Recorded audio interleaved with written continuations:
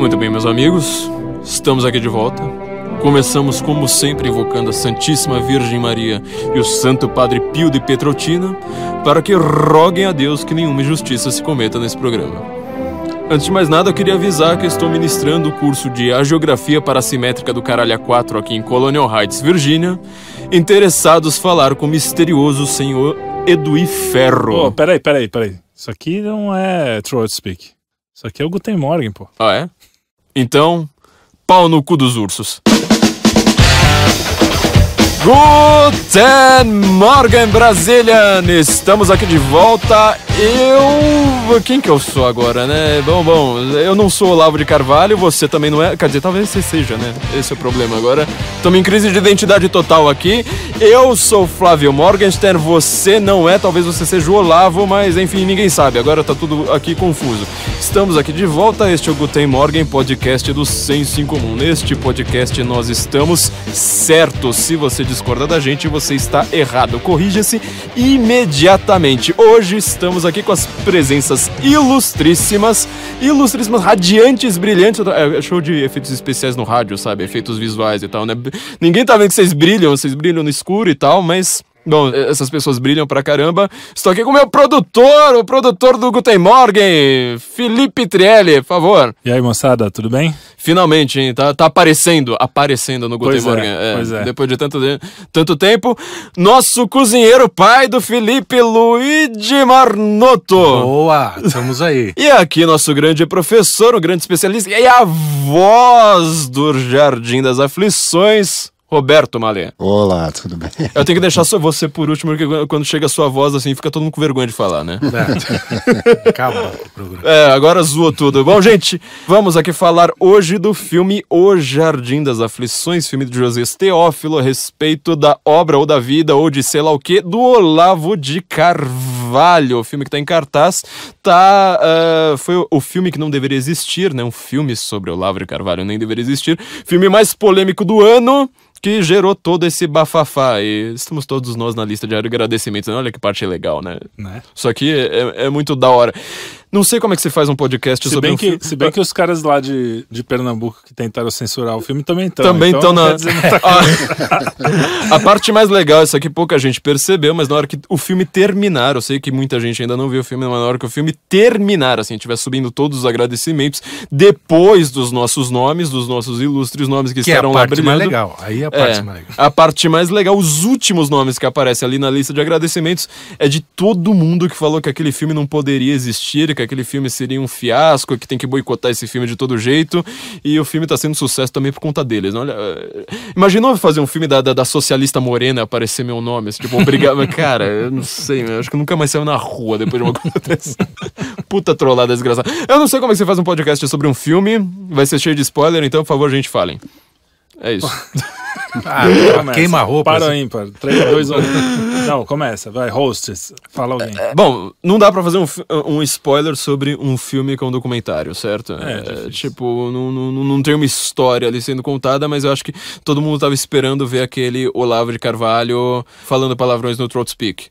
Verdade. É, O spoiler é o urso morre no final. O urso morre no final. Caçada de urso pra, pra, pra cima e pra baixo.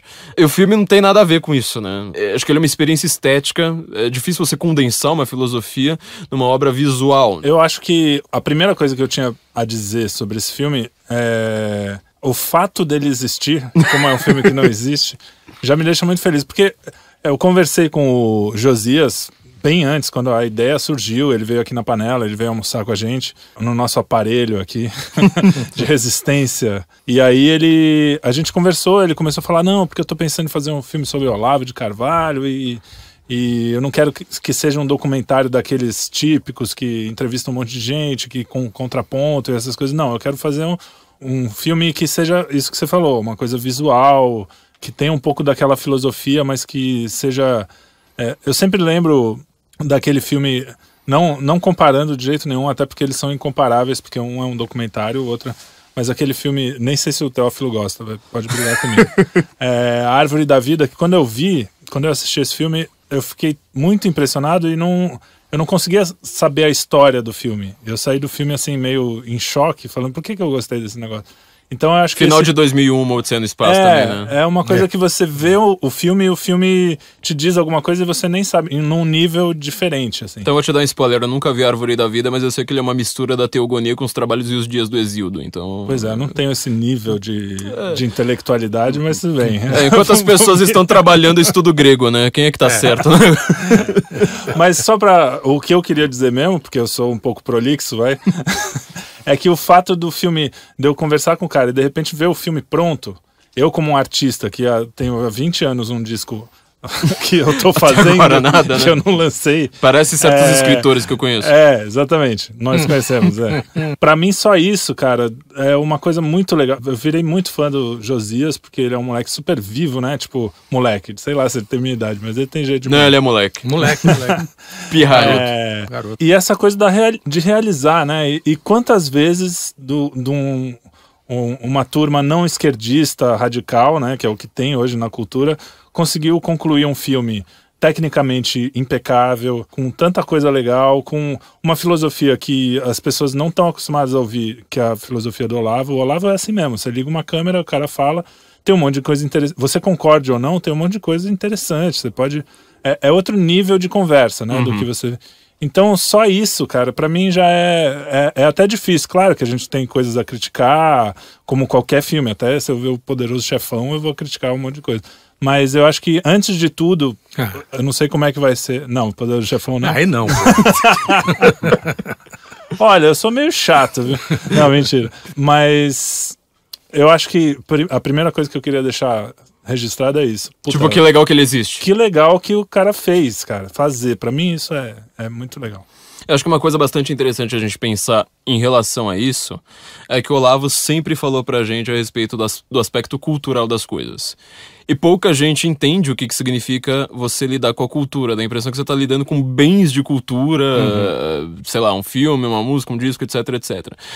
Mas ele sempre está dizendo assim, a cultura é aquela coisa que funda a sociedade, ou seja, ela é anterior à política, ela é a base de tudo. E a gente não consegue no Brasil desde 68 transmitir mais nada, isso aí ficou tudo nas mãos da, da- da- Não é só da esquerda, mas assim, na mão da esquerda de gente ruim, pra quem consegue diferenciar um do outro, sem ter nenhuma capacidade de você transmitir quais são os sentimentos do povo brasileiro, qual é, qual é, ah, quais são nossas aspirações, até na primeira aula do curso dele, acho que na verdade na aula assim, anterior à primeira aula, né, aquela apresentação do curso, se não me engano, ele fala que o Brasil é o único país do mundo, e isso aí não tem nada a ver com dinheiro, né, porque tem países miseráveis que conseguem fazer isso, mas tem é o único país no mundo cuja literatura atual ela não, não reflete a realidade atual. Absolutamente não. Você não tem nada. Uma lei aqui que é do teatro, né? O grande produtor. eh, A gente estava até comentando aqui agora há pouco, né? O grande professor aqui nosso de, de, de, de- de teatro pode explicar isso muito bem, né? Ainda mais sendo do teatro, que é, que é visual ao contrário da gente, né?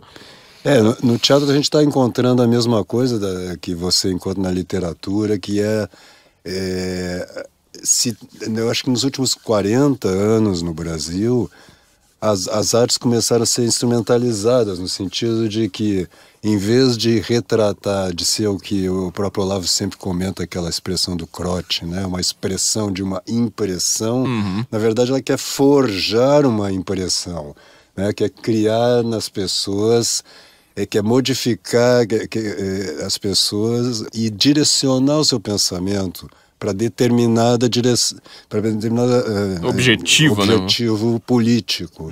Então, é, não há, ah, quer dizer, uma coisa que é fundamental no símbolo e, portanto, nas obras de arte em geral, é exatamente o fato de que ela é múltiplo semanticamente. Não, você não tem uma tradução é, é, você não pode direcionar a leitura do, do, do símbolo numa, num sentido. Ele vai ser sempre passível de múltiplas interpretações.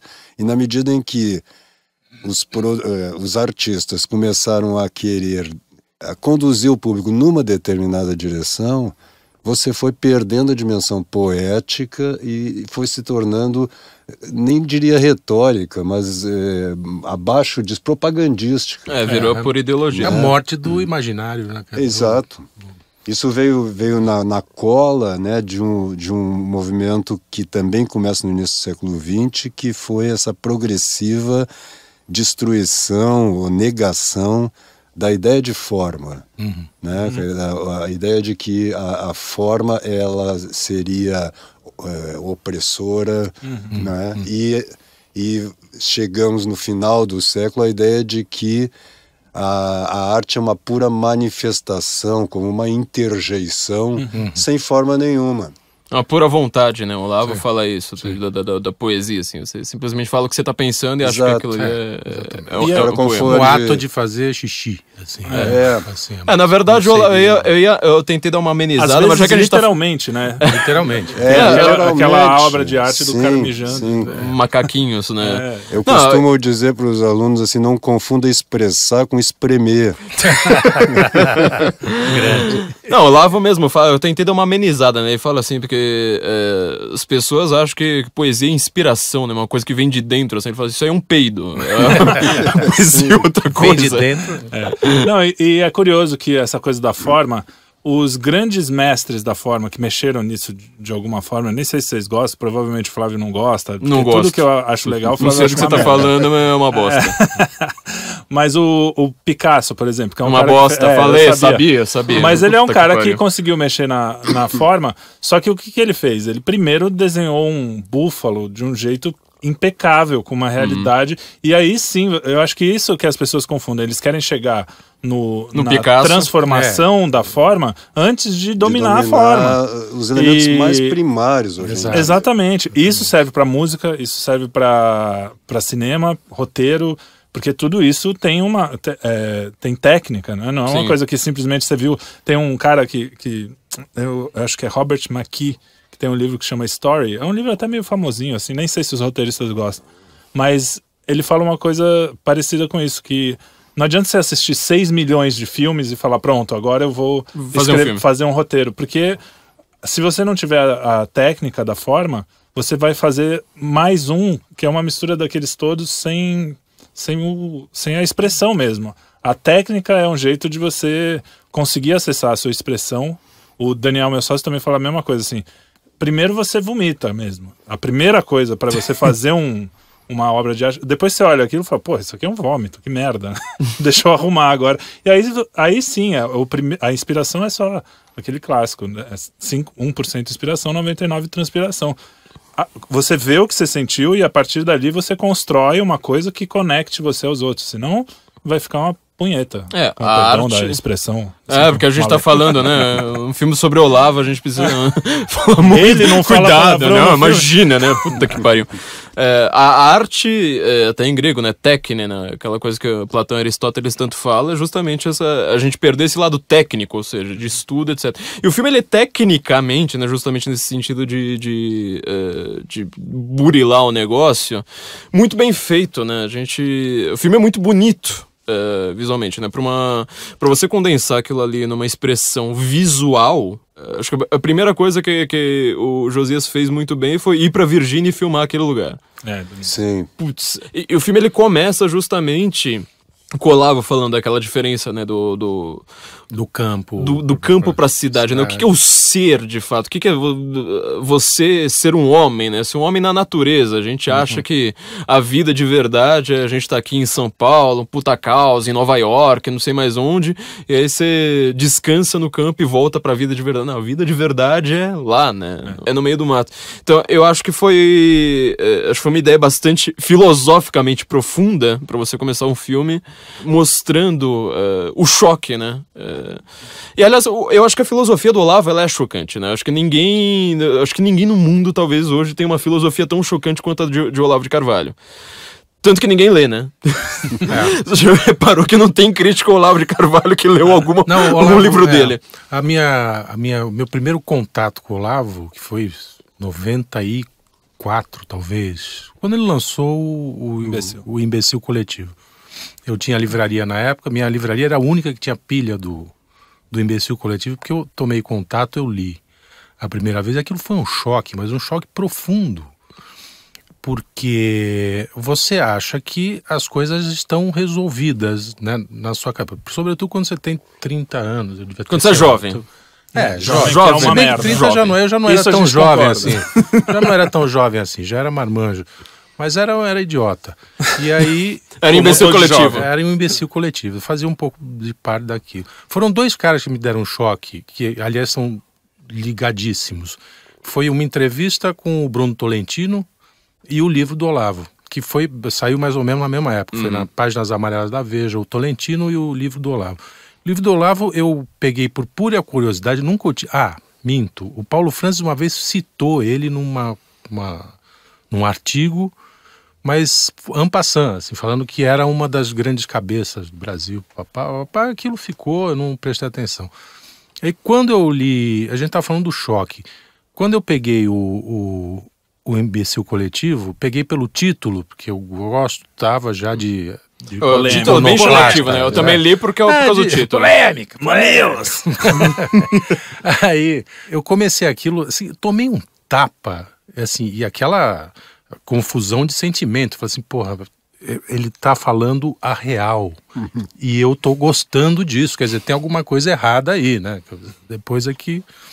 Cara, aquilo É, porque foi. seu Lavete em eu já 2014 é uma É, coisa, então, sem é. 96 é 90 outra. e- né? é, Sim. 95, Você sei lá. descobrir Ah, tá, aliás, mas 97. quando o consenso era, não tinha era Lula, a gente não tinha vi- visto tudo que Não, estava de tão imagina, errado na esquerda. Exatamente. A gente estava tinha- em pleno Fernando Henrique, eu É. acho. né?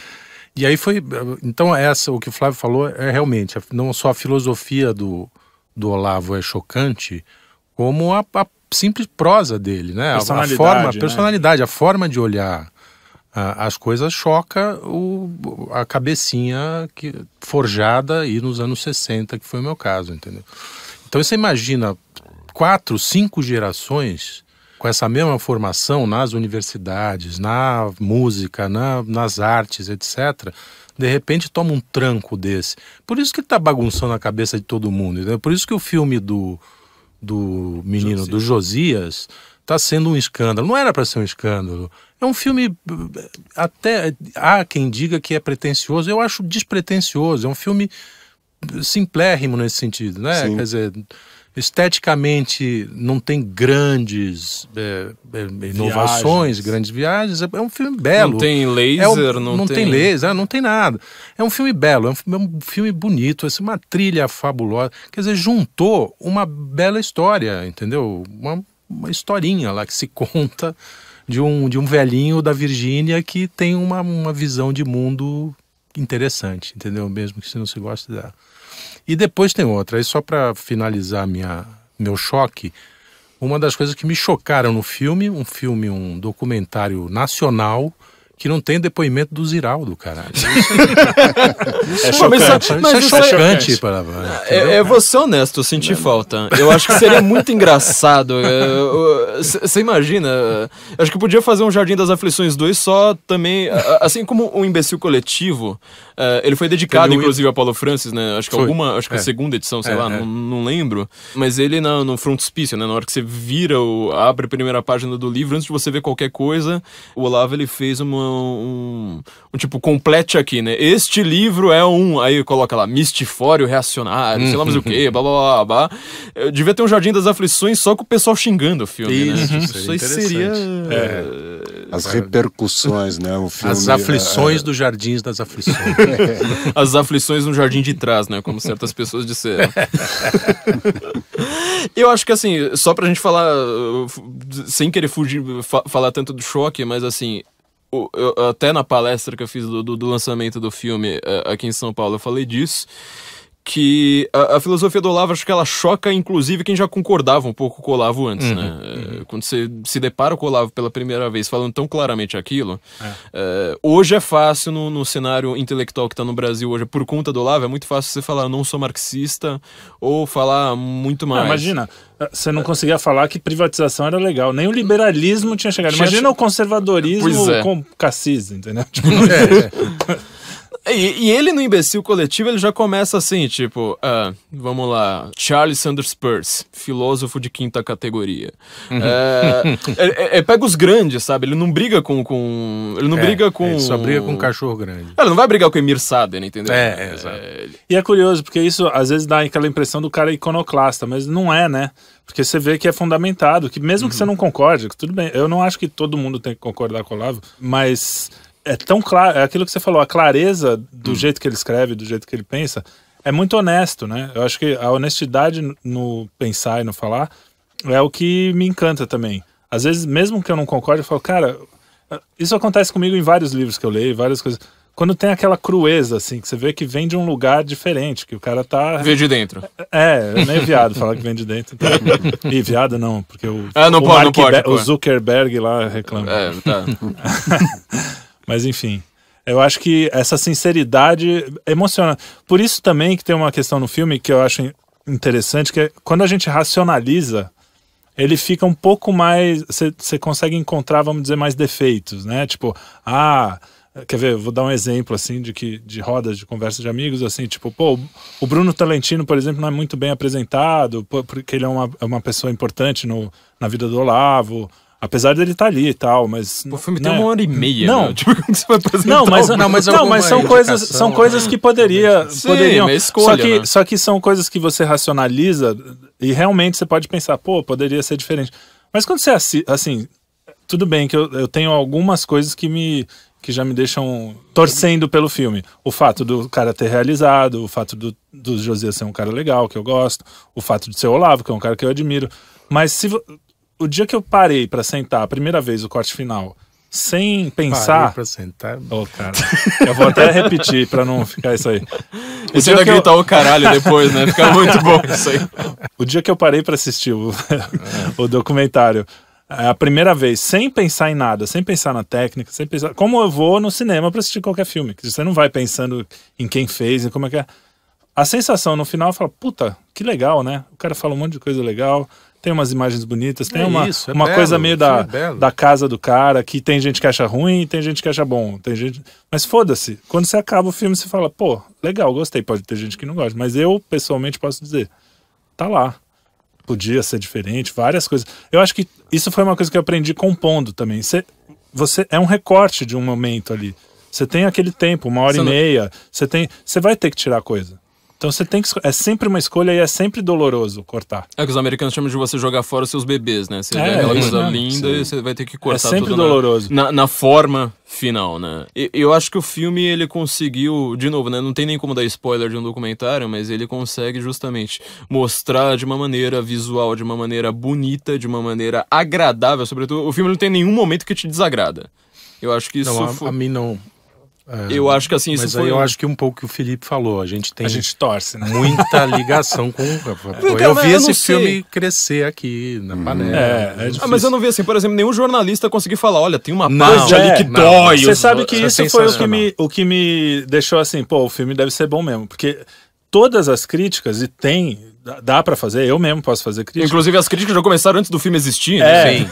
elas não são tão profundas a ponto de falar assim. E, e os caras devem estar procurando, porque ele é persona não grata, quer queira, quer não. Na, na Sobretudo cabecinha. na imprensa cultural. É. é. É o nome Então, dos assim, livros do cara, né? Imbecil coletivo. os caras- O mínimo que você precisa saber pra não ser Os idiota. caras deviam estar esperando aquela coisa, meu, vamos olhar, aquela coisa que a gente costuma, o pessoal do nosso lado costuma fazer, uma coisa meio mal feita, meio, tudo bem, a mensagem é legal, mas ah, Forma é uma é, merda. a- então assim, de repente vem um negócio que, porra, não tem muito o que dizer tecnicamente. Você pode até falar, ah, o Olavo.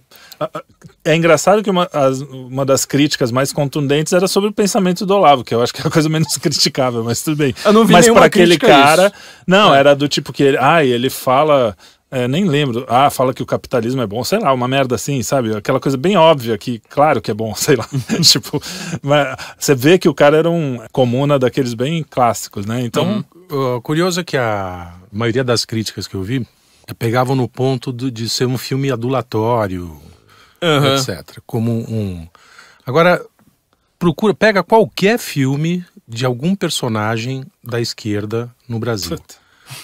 Aquilo é adulação, entendeu? Sim. O que, o que se mostra ali é o Olavo, que é Falando óbvio o que ele tem, pensa. Óbvio É. que tem uma, uma- um, um olhar Ele é simpático. simpático, do- ou seja, ele do- sente... do E que não é autor, escondido, né? Que não é, Não é uma coisa que ele, ele foi. é um admirador do Olavo e tal. Agora pega, assim, eu vi há pouco tempo, por coincidência, um dos trechos de um filme que na época eu vi, eu, da- eu vi uns trechos há uns dias, que é o, o livro sobre o João Goulart, o Jango, daquele Silvio Tendra.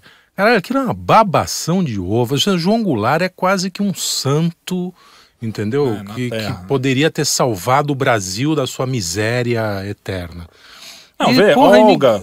É o filme da todos, Olga. né? Diário de Olga é motocicleta. ficção. não, É, tudo bem. É. é. ficção, mas é, é uma ficção Não, é- com uma história real. especificamente né? dos documentários, todo documentário de, um- de um diretor que admira o, o personagem vai ter uma- um olhar simpático, porra. Mas é uma coisa tão óbvia. é que tem- E essa foi a crítica mais contundente. Falar, ah, o filme é adulatório, é uma a geografia. sei Mas lá. a- aí também tem outra, ca- outra coisa. Uma coisa é um documentário como o Ninguém Sabe o Duro Que Eu Dei, do Simonal, que eu acho um dos grandes documentários. lados, que que é é, verdade. pegar o personagem e, e pegar todos os lados da história. É, mas é, o- um jorna- é um, é um é documentário jornalístico. Exatamente.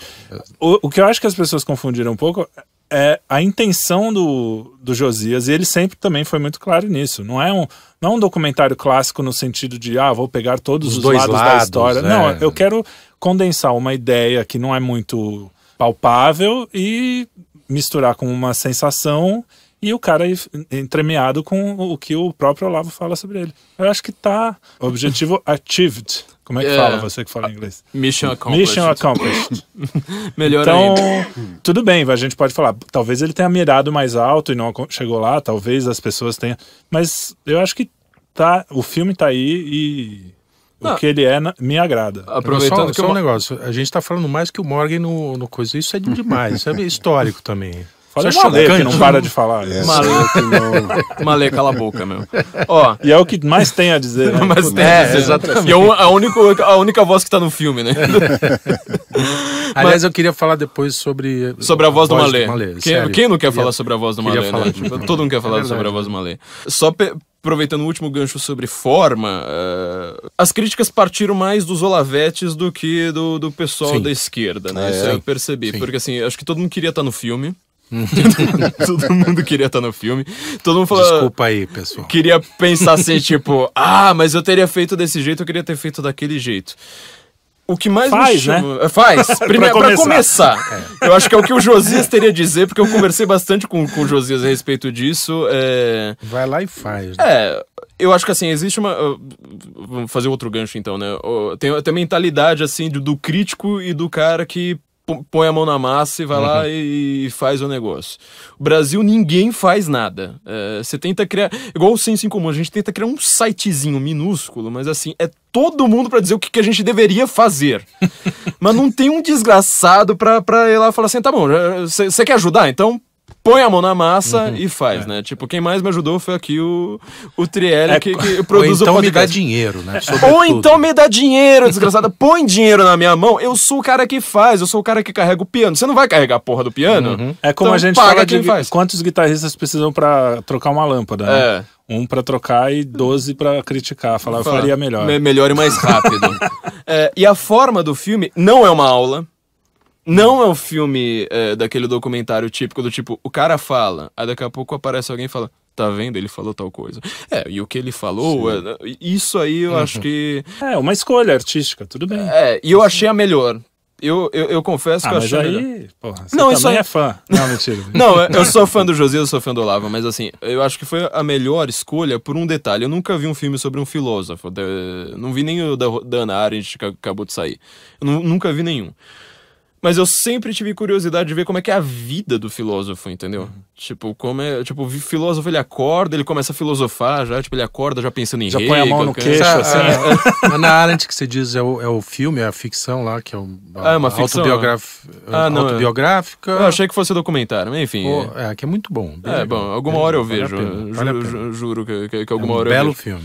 Mas, tipo, o filósofo, é, eu sempre quis ver a vida normal do cara, sabe? É, é, ver o filósofo trabalhando, sabe? É diferente de ver o filósofo obrando, que isso aí eu vejo o Leandro Carnal fazendo o tempo todo, mas Obrando filó- naquele sentido o mesmo. filósofo trabalhando, ou seja, aquele cara que ele, sabe, tá, tá com cachorro, tá como ele em casa, os filhos chegam. Isso foi a coisa que eu achei sensacional do filme, porque assim, a, a, a aula do Olavo eu vou ver na aula do Olavo. Ah, eu não vou pro sim. cinema pra ver aula, caceta. É outra forma. Não, e é mais ou menos como quando eu vejo um cara produzindo, né? Um cara, um músico fazendo. di- Tem aquele documentário dos 10 discos importantes, ou sei lá quantos discos, que o cara filma como foi gravado, da entrevista. Acho que é essa sensação, né? Como é o seu ofício, de certa forma, não sei. Tem ou tem a ver com ele, você vê como é o por trás, é muito, é muito bom. É o making of. É, É, o making of da filosofia do Olavo. Acho que isso aí foi. É, e ele consegue fazer a relação entre a filosofia do próprio Olavo e essa vida cotidiana, né? Isso. Às vezes eu- o filme começa com aquela grande panorâmica, né, acompanhando o carro, né, num drone. E, e- e eu, eu vejo que ao longo do filme eh, retorna essa ideia de primeiro abrir para um mais universal, tanto visualmente quanto tematicamente, e depois ir fechando para coisa mais particular, chegando assim lá no cachorro mesmo, então os dois sentados no sofá, o casal, né, numa, numa- numa coisa Então- mais íntima. Depois dali ele começa a ampliar de novo. Então tem um movimento de universalização. É. Como a Não, música. além da espiral, tem um movimento Ah. de ampliar e reduzir, sabe? De É ir para o universal da música. e cair no particular. E isso, acho que isso é uma grande virtude. Tem esses dois movimentos, essa ideia da espiral, onde as coisas vão retornando em outros, de vários pontos de vista, e paralelo a isso, essa ideia também do, de uma panorâmica e depois de fechar no detalhe, e abrir e fechar, né? Legal. Você vê que é, você tem um olhar bem mais aguçado. Eu não percebi. Não, e, e você falando é óbvio. Agora eu começo a perceber. Como acabei descobrindo, até uma curiosidade para quem vai ainda não viu o filme, que o Olavo reclamou no meio das gravações que ele tinha que trocar de camisa toda hora. Ele falou, pô, Ele não só nas gravações, camisa." ele vive reclamando disso até hoje. É, é, exatamente. Porra, os caras ficavam trocando de camisa. ah, tira a camisa, põe camisa. E, ah. e aí ele percebeu no filme que a, a narrativa vai acompanhando a, tonalidade das camisas. É um Sim. detalhe fabuloso, é do cacete. Isso é, é óbvio que eu não percebi na hora, mas lá no inconsciente você percebe que o filme vai escurecendo, escurecendo, até a sim. morte, Ele até a vai hora dar que ele começa a, a falar da morte. né? Exatamente, e vai, vai fechando. Quer dizer, são os detalhes que ah, tapados como eu não, não percebem na, na prim- no primeiro olhada. É que é um assim, detalhe de making of interessante, é que é o seguinte, eles precisavam trocar tanto de camisa porque eles não passaram tanto tempo na casa do Olavo assim. Hum. É, ou seja, acho que eles grava- gravaram o quê? Quatro dias, se não me engano? Foi uma coisa. É, foi meio- Foi corrido. Não. E, meu, você imagina o que que é você pegar uma câmera, enfiar na cara do sujeito e falar filosofia. É, Porra, é. meu, em quatro dias saiu tanto. Porque assim, eu conheci o Olavo, né? Passei du- du- duas noites, na verdade, na casa dele. E percebi que ele é assim: você, tipo, fala assim: olha, eh, quero falar sobre Hegel. Puta, sai, sabe? E Ele fala as coisas mais sensacionais do mundo ali, tipo, pá! Na, na, na tua cara. E eles tiveram muita sorte, né, de, de fazer esse filme com, com, com o Olavo, porque acho que deve ser, nesse ponto deve ser fácil, né? Você enfia a câmera na cara do sujeito e tem lá insights sensacionais. Não, de novo, não é uma aula, não é tipo um resumo da filosofia dele. Teve gente que falou que assim, ah, o filme ele é baseado no livro Jardim das Aflições. Ele mal fala do livro do Jardim das Aflições, né? É, ele passeia por Ele passeia. temas ali. Te- É que a, a filosofia do Olavo tá aí como tá lá e elas É, se encontram, mas é isso. Né? Ah, nesse negócio do- da espiral que a gente tá falando, né? Da, da música do Sibelius, né? Que a música do Sibelius ela é feita em espiral. tem, é. Que tá no filme. né? Aliás, falando em música, é, eu acho que merece uma menção honrosa aqui. O Gru- Guto Brignoli, que é quem fez a música original, que é aquela, aquele momento que tem um acordeon. Uhum. Não sei se é exatamente esse o instrumento, mas parece uma sanfona, um acordeon.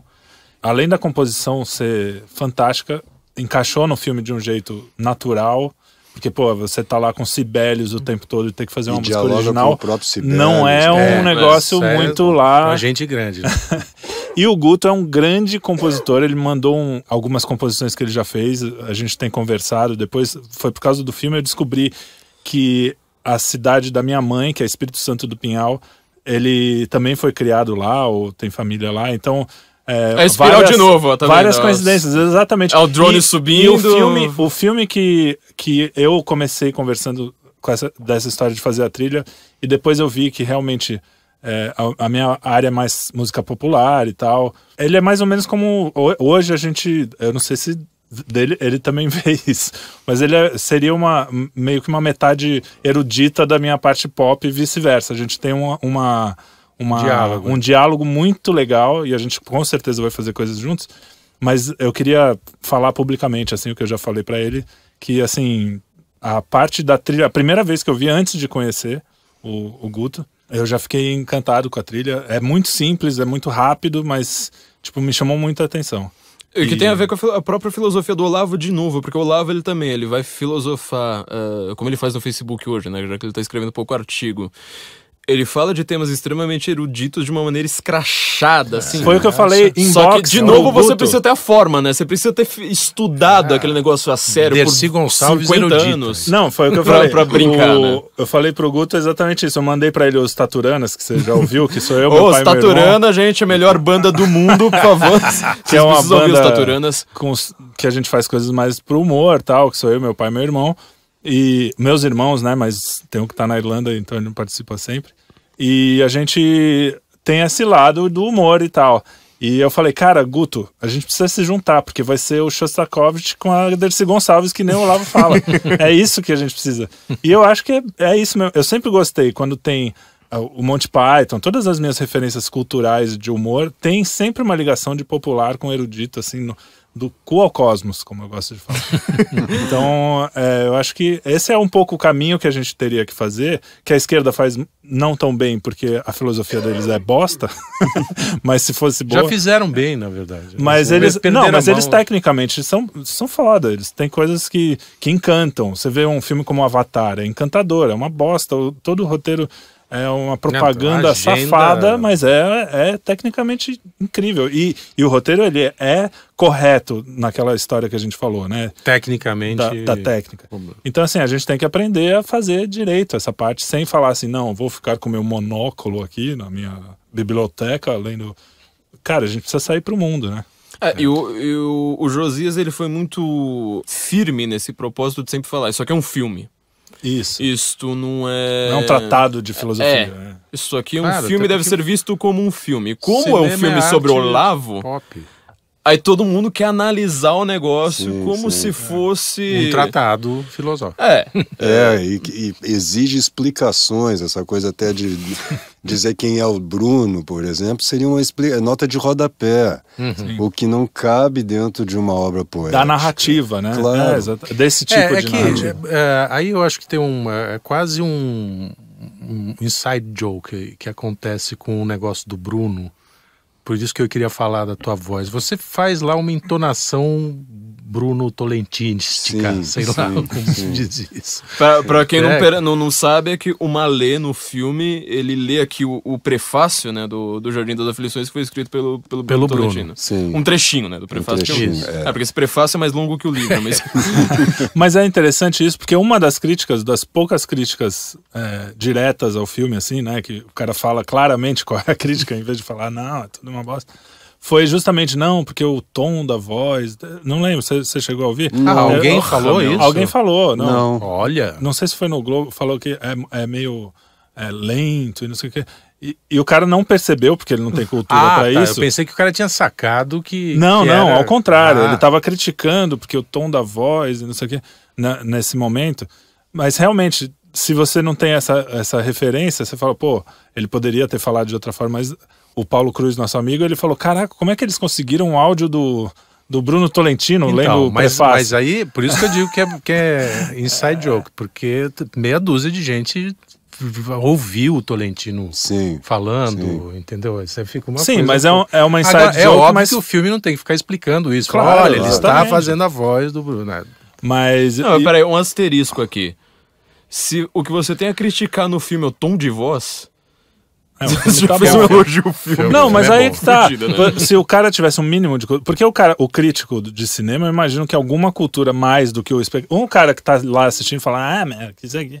O cara é o crítico de cinema. Você já, conhece, o já ouviu nome falar de Bruno? Pablo Vilaça? Essa cara tem que era, era, entender. desse, era desse primeiro áudio, então. É, É, do, do- do, do- do Bruno. Bruno. é. Do Bruno, é. Eu vou, é, depois depois do engano, programa, depois do programa a gente procura e, e É, pra deixar isso aí. É, e é uma bobagem. O cara queria achar pelo em ovo ali.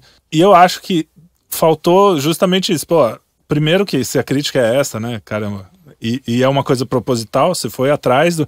Eu lembro que você chegou a ouvir Sim, áudios do sim. Bruno, entrevistas. É, a gente e coisas. gravou aqui e ainda quando eu vim no carro pra cá, eu vim ouvindo ainda alguns áudios que o Bruno falando seus poemas pra pegar Isso- um isso pouco foi uma- aquela Não, e funcionou, porque a única pessoa no cinema, provavelmente, que conhecia o Bruno, os áudios do Bruno, falou: Caraca, como é que eles encontraram sim, um áudio do Bruno? Depois, com o tempo, ele viu que não era, mas assim, nas prime a primeira tapa que o cara tomou, e eu acho que a intenção do Josias e sua era justamente essa, né? Então, a ideia foi tua ou do Josias? foi minha. Foi tua, né? É, na verdade o Josias queria duas vozes distintas, queria dois atores, um para ler cada, cada trecho. Pra mim seria Malê Malê. Porque eu leio no final né, o texto do Ortega y Gasset. Sim. E nós não encontramos, eu não, não tinha ninguém a sugerir, ele não conseguiu ninguém, e eu sugeri isso, ó, eu posso fazer uma voz Ah, distinta, legal. né? E aí eh, quis fazer não propriamente uma imitação da voz do Bruno, mas uma alusão. Sim, Então exatamente. não, é- né, não, não tem a ideia de reproduzir. É, não, exato. Não é uma mas imitação. Não é uma imitação. É, não é o cara que imita o Lula, né? É, é, Chama o carioca aqui, né? É, é mais ou menos o, é, é uma intenção, é isso. É, pegar aquele, o tom, o ritmo por Uhum. um lado e o tipo de ênfase que ele dava, né? Que ele tinha uma coisa de Isso, carregar isso. as O R, palavras, é, né? Exatamente. O R. O R. Mas é engraçado, por exemplo, o Olavo ele fala bastante a respeito de vocação. Eu acho que são três coisas. Por exemplo, ele cita bastante o Goethe, né? O, Os Anos de Aprendizado do Wilhelm Meister, que é um livro inteiro sobre vocação. Ele fala muito do Viktor Frankl, Frankl, que é faz toda uma psicologia eh, baseada em vocação. e Ele fala disso esteticamente também. Então, encontre sua própria voz. O que, que o mundo tá te chamando para fazer? A voz, a vocação. Vocare. Vocar. O que, que o mundo tá te chamando para fazer? Ou seja, você pode estar no meio de um campo de concentração, você pode estar no caos absoluto, você tem um propósito para ser realizado ali. Encontre a sua voz e vá. Nesse aspecto, eu acho que o filme ele conseguiu traduzir muito do, de uma espécie, vamos dizer, de. Não um sentimento, mas é, é- é meio uma disposição do Olavo como, como pensador em relação às pessoas. O que eu quero dizer é mais ou menos o seguinte: ele sempre foi extremamente criticado desde o começo da carreira. Hoje ele tem admiradores, apesar dos críticos terem ficado muito mais ferozes. Ou seja, o crítico hoje nem lê o Olavo mais. Certo, você vai ver que. é, é, Vai ver nos comentários desse podcast lá. Você, tipo, ah, o Olavo, não sei mais o que você vai ver. Não tem um filha da puta que vai nem ouvir esse podcast antes de falar mal. Você pode, ter, não tem a menor dúvida. Ninguém vai nem ouvir, ninguém vai ver o filme antes de, de, de criticar, sabe? É, teve um crítico, eu tô procurando aqui, eu tô tentando achar se ele é da Folha, não lembro de, de, de que lugar que ele é. Pra vocês terem uma ideia, ele falou assim: Não, porque é um filme sobre a filosofia do filósofo Olavo de Carvalho. Eu falei, bom, já tá meio estranho isso aí. É, que é um, um pensador sem religião, com uma certa admiração pelo Sim. misticismo católico. Sim. Você fala, porra, meu. O cara não entendeu o- uma frase, né? Não, peraí, você não pesquisou no Google cinco minutos, É meu? isso. Tipo, a coisa mais óbvia do Olavo é que ele é católico, sabe? Tipo, você não pesquisou cinco minutos antes de ver um filme e... Porque o filme no- ah, tem, tem uma cena que ele fala, né? Nem sei se eu sou, Seu religioso. Exatamente. Eu simplesmente gosto da realidade, ele vai lá mostra porque que ele é católico Não, a partir O da cara realidade. grudou nisso que nem um, Porra, um meu. afogado. A ideia dos afogados, né? Como a Lê cita no final do filme. Exato. O curioso é que ele fala isso justamente é, mostrando o, o quão religioso ele é, porque ele fala: Eu não sou religioso, religioso porque aquilo aconteceu. É, eu gosto de realidade, eu ponto. sei que aquilo aconteceu. Tipo, ele tá indo além da religião, não É. atrás, ele não tá antes. Sim, né? sim. Ele tá assim, a história toda, aquilo é real, não é, não é uma mitologia. ou um mistici- Então o cara não entendeu isso, que, que aí sim, qualquer leigo tem que entender, porque ele foi muito claro no que ele disse.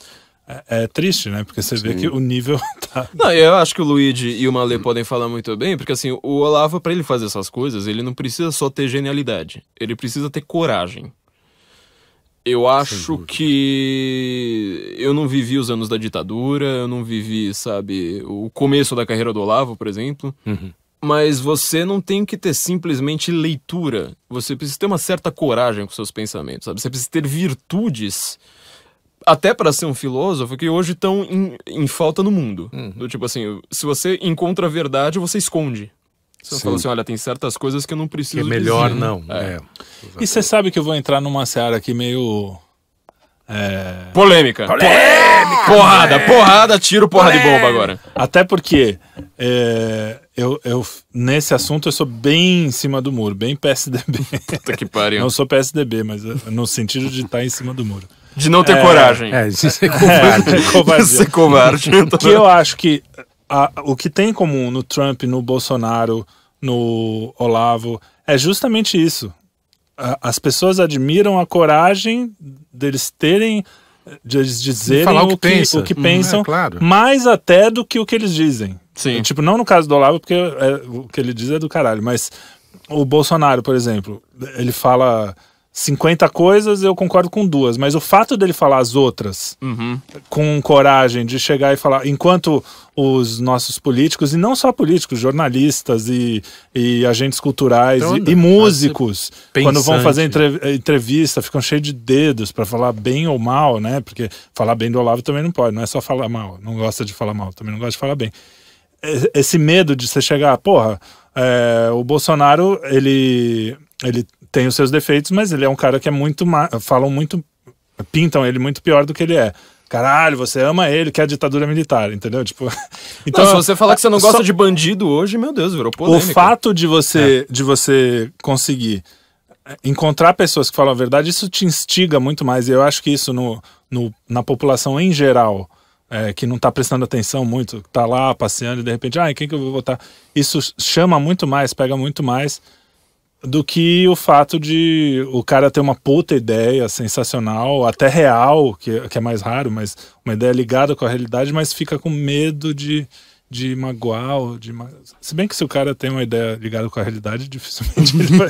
Mas você é, importa com na- isso? Não, ah, na, na- no meio acadêmico isso é, é mais, mais do que comum, né? Quer dizer, ninguém fala o que pensa exatamente no mundo acadêmico.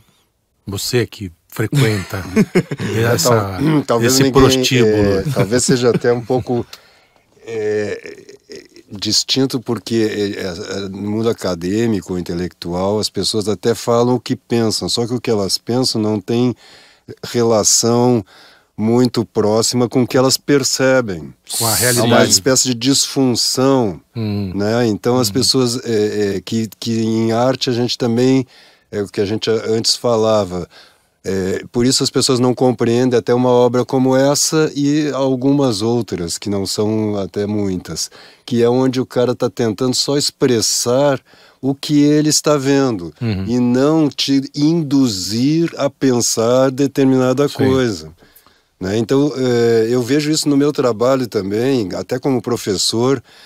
Parece que as pessoas sempre acham que você está dizendo alguma coisa porque você quer chegar a um determinado objetivo político. Sempre. Não, total. sempre. Então, Tanto é que sempre a gente era que que chamado está de- por trás do que você está fazendo. Bom, Sim. eu, a não gente era chamado de Ninguém de é sincero. aecista, né? Por- Só porque. não, eu tiro por, Ah, por nossa, eu sou racista, né? Tipo, É. se eu penso uma- alguma coisa contra o PT é porque eu recebo dinheiro do PSDB. É, Exatamente, é, exatamente. não tem eu, outra eu- saída. Eu digo até por experiência própria. Quando eu era jovem e idiota, como, Como todo jovem. como todo jovem, Quando eu era jovem. É, é, é, e, e militante, quer dizer, eu estava bem enfiado lá no meio do, do Bem jovem. movimento. É, era bem jovem. Então eu via propósito político em tudo, tudo. o que assim no, no, no desenho animado do Tom Jerry, entendeu? Eu, eu vi ali e falei, não, aqui tem uma. Tanto que olha o nível de idiotice. É, eu estava tomando contato com o primeiro livro, uma compilação de coisas do Paulo Francis. Paulo Francis acaba sempre presente, né? Mas eu era bem de esquerda, não sei o que lá. Eu comprei um livro e o livro veio com uma- algumas páginas em branco. Chamava Paulo Francis nu e cru. Era, era uma compilação das, dos artigos. Ele também era de esquerda na época e tal. Era trotskista. E vie- vieram algumas páginas em branco. Aí eu falei, ah, puta, censura, Brasil pra cá. Aí fui falar para um professor de história meu, eu falei assim, olha, meu, Brasil tá, tá impossível, faz escuro, mas eu canto, né? Aquela coisa toda. Ele falou, não, seu idiota, tá com defeito isso aqui, é só ir trocar na livraria. eu É, achando até porque que se é pra censurar, arranca a página. É, né? porra, não, faz não, ela em não. Imagina, vai imprimir em branco, idiota. É, não, então, aí é, tudo era. Tudo né? é Quer dizer, uma- é. qualquer discurso, qualquer coisa, você Isso achava acontece que tinha um em todos fim os político, espectros, né? Hoje em dia, principalmente depois que, que não ficou mais. é, que não era mais corajoso falar não gosto da esquerda, ficou mais fácil também os, os esquerdistas mudarem só o sinal, né?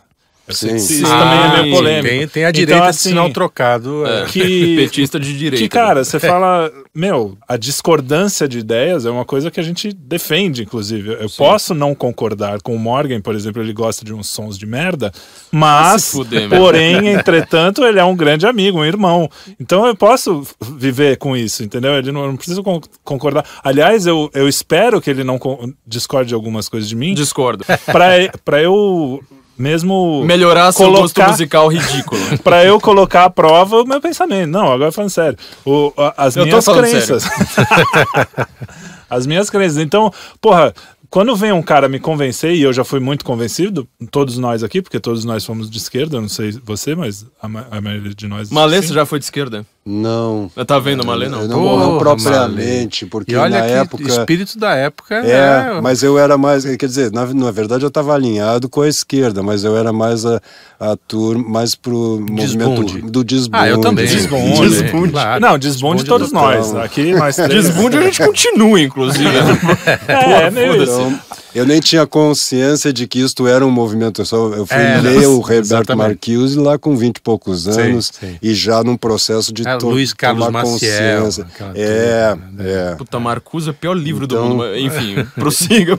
É, Não, mas mas, eu só fui entender, no- eu fui entender o que estava por trás do desbunde total ali da década de Exato, 70. que, que a gente achava que estava mais tarde. deslocado. É, eu achava que era só uma ruptura. É, exato. E, na não verdade, era só mais uma roupa dela. Exatamente, exatamente. Mas Então, termina a parte da discordância.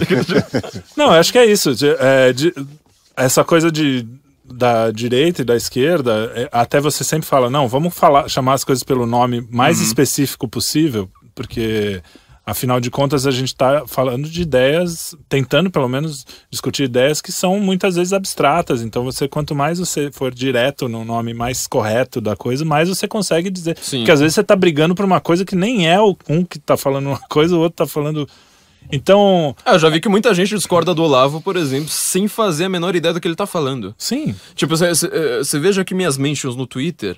É assim, é todo mundo fazendo uma crítica, por exemplo, eu, eu dou um exemplo fácil aqui, meu último episódio sobre aquecimento global.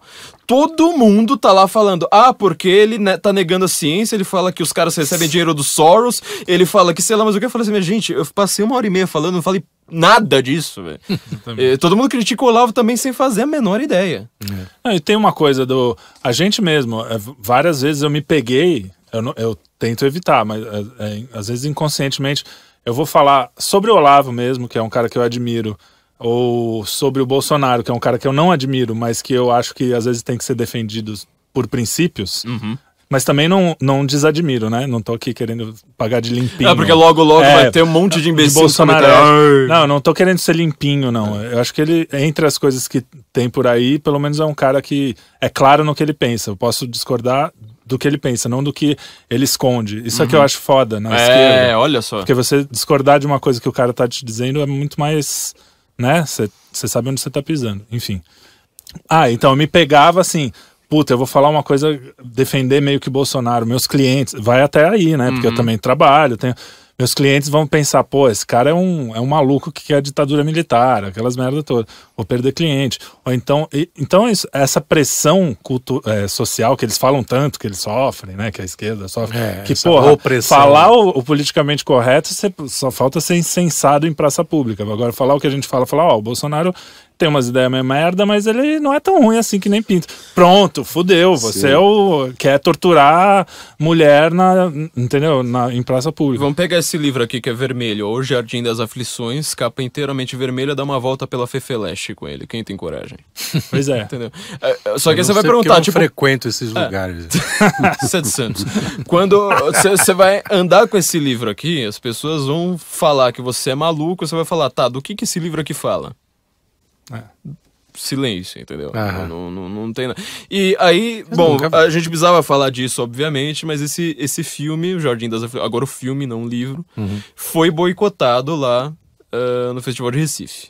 Vocês acharam que isso aí foi uma coisa boa pro filme ou ruim pro Foi filme? excelente. Foi o maior tiro no pé que esses caras deram. Eu acho que o Josias, ele tá soltando fogos em casa escondido Pô, também, né? não tem. Sim, sim. Foi a primeira. Quando a, Ele chegou a declarar isso, né? Também. É, sim. claramente. Melhor não- divulgação, né? Pro Meu, filme. mas E aí os caras estão lá no- no- nos agradecimentos Sim. com razão, né? Foi a Tipo, primeira reação que eu tive quando vi a notícia de que iam boicotar o filme. Escrevi pro Josias. Falei, Josias, esses caras estão te dando uma colher de chá. Aproveita. Ele tava puto ainda. Ele não. não- O Josias não tinha Ele não percebido. tinha né? percebido Eu também que percebi isso- que ele não percebeu. É.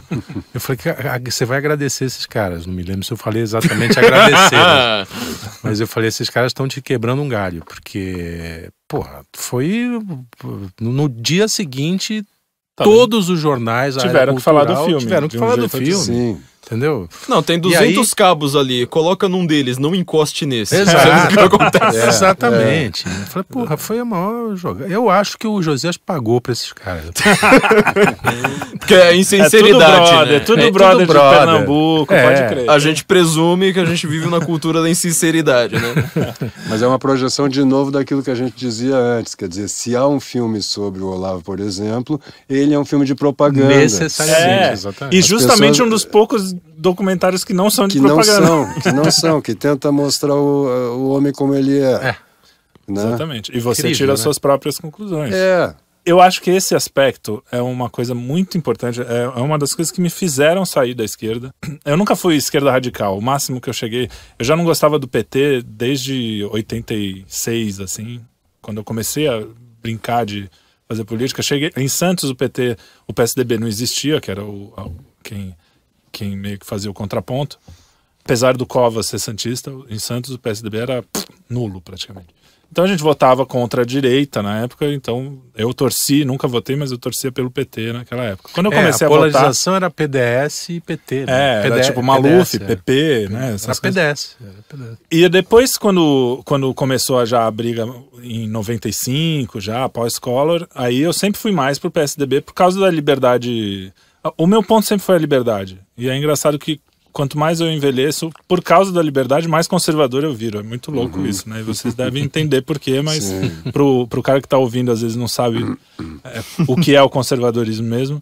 É, porque eu acho que, o, o, para mim, a, a linha fundamental que divide entre o que eu quero da vida e o que eu não quero é a liberdade, porque eu, como artista, preciso disso internamente. Mesmo que eu não, eu não consiga falar em público tudo que eu, que, eu, que eu morra por isso, aliás, eu acho que é uma coisa pela qual eu morreria. Liberdade é mais importante que a vida. é tentar é falar, claro. tentar falar o que eu penso. Morreria, mesmo que seja uma idiotice, que eu morreria à toa, mas eu, eu acho que isso é uma das coisas que eu faria. O... Mas todo mundo morre à toa, né? Então, É. é, isso é das vocação. Quem que não morre à toa? Mas isso é vocação, é você não Morrer é morrer à toa. coisa. É, exatamente. Você vai morrer à toa. Então, Exatamente. vocação é você não atuar a Oh, sua. que bonito isso, hein? Pois é. Escreve.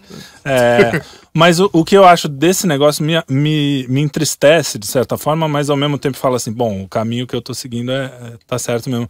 É ver que artistas entrando nessa de tolher liberdade. É, porque o nosso ofício deveria ser. É que Boa o que esses, parte ca- deles é esses caras, oportunismo. esses caras não são artistas, eles são propagandistas de, É. uma, de uma ideologia. Essa- E eles é acham que nós somos isso, né? É. É. Então, assim, é, quando o cara chega aí, um artista que tem que ser livre, e, e- e aí quando eu digo livre, aí é no sentido íntimo, a gente tem que ser libertário mesmo, que eu- a gente não gosta muito deles, né? Mas intimamente a gente tem que pensar em tudo e, e, e quando você está criando, você tem que pensar até nas coisas que você não concorda, você tem que se colocar no lugar, você tem que... É, é muito maluco, porque às vezes você tem que fazer é, uma música e o seu personagem é o cara que tá do outro lado. E você precisa estar tá lá de verdade. Você precisa.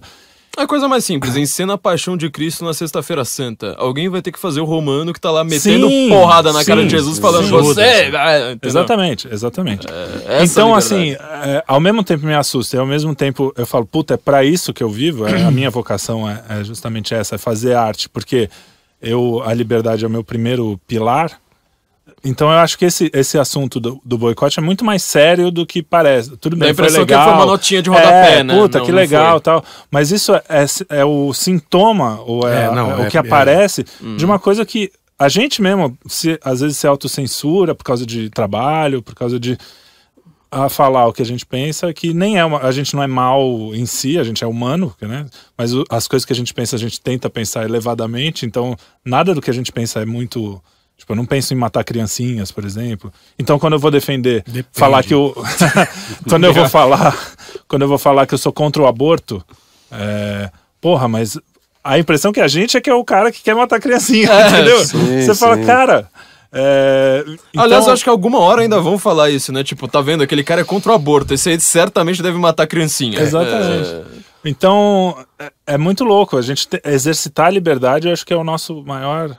É, e por isso que eu ajudo, agora sem sacanagem, o, o, o Guten Morgen, por isso que sempre estive muito disponível para todo mundo, para o Josias é, e para todo mundo que, que quis. Agora todo mundo vai me ouvir, minha, meu inbox vai fuder. né?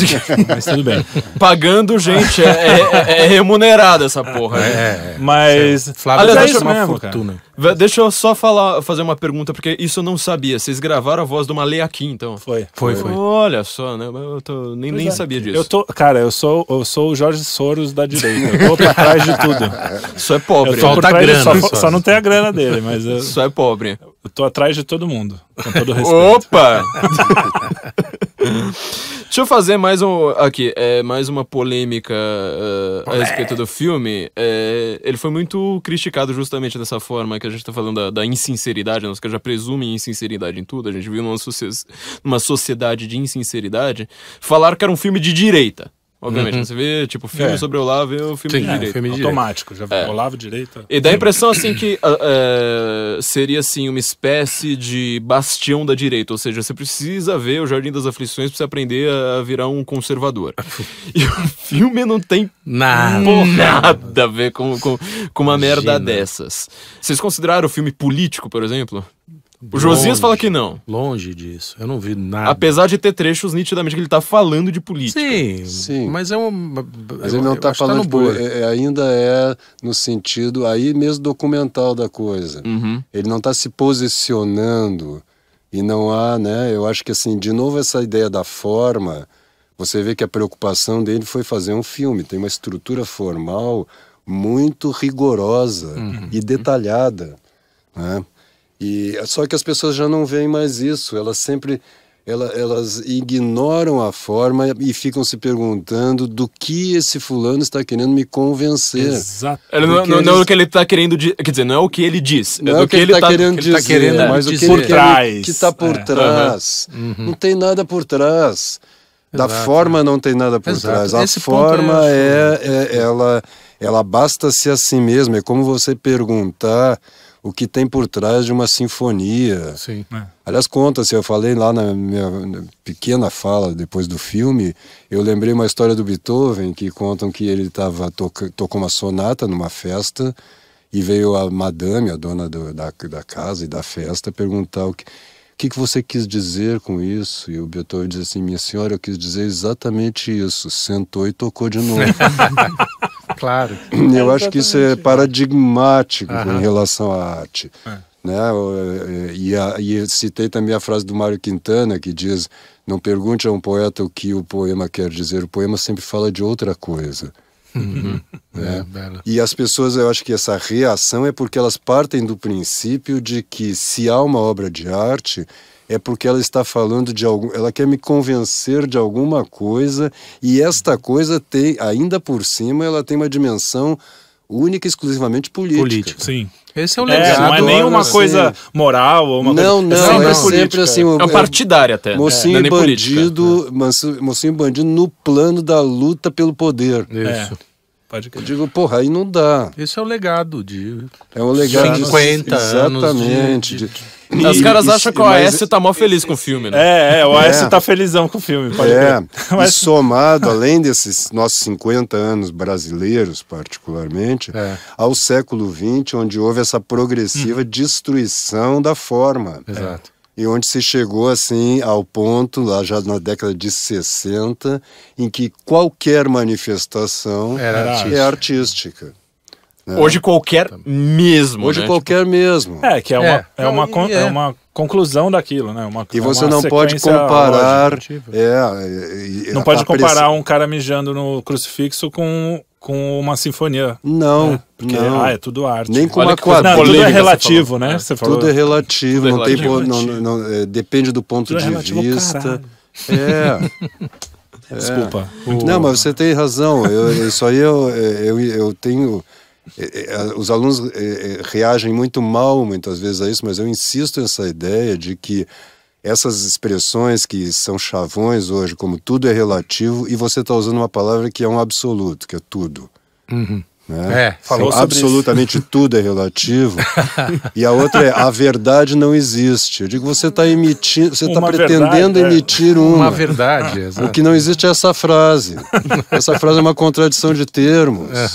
Ela não existe, ela é simplesmente aí sim um peido vocal, né? Um Flatus, flatus vocis. Os latinos já sabiam de tudo isso aí que a Já, gente tá falando, já. né? Pois é. E, E aí, desculpa, é só eu, eu queria retomar um negócio que você disse lá no início, Flávio, quando apontou a questão lá do filme, né, do Jardim, em que a, a, a natureza, né, e a cidade, né, que representa um pouco ali, eu acho que assim, o próprio Estado, ou seja, a tendência a dominar, não é nem dominar, é controlar tudo, né? E tem um terceiro elemento que eu acho que é o que, vamos dizer assim, é, o Olavo representa e o filme traduz também, que é a tradição e a cultura. sim. Né? Quer dizer, a- a- que nos dá a capacidade e forjado ao longo dos séculos, com muito sofrimento, muitas lágrimas, morte, muita morte. muita dor. Muita gente morreu pra gente ser estar aqui. capaz de dizer as coisas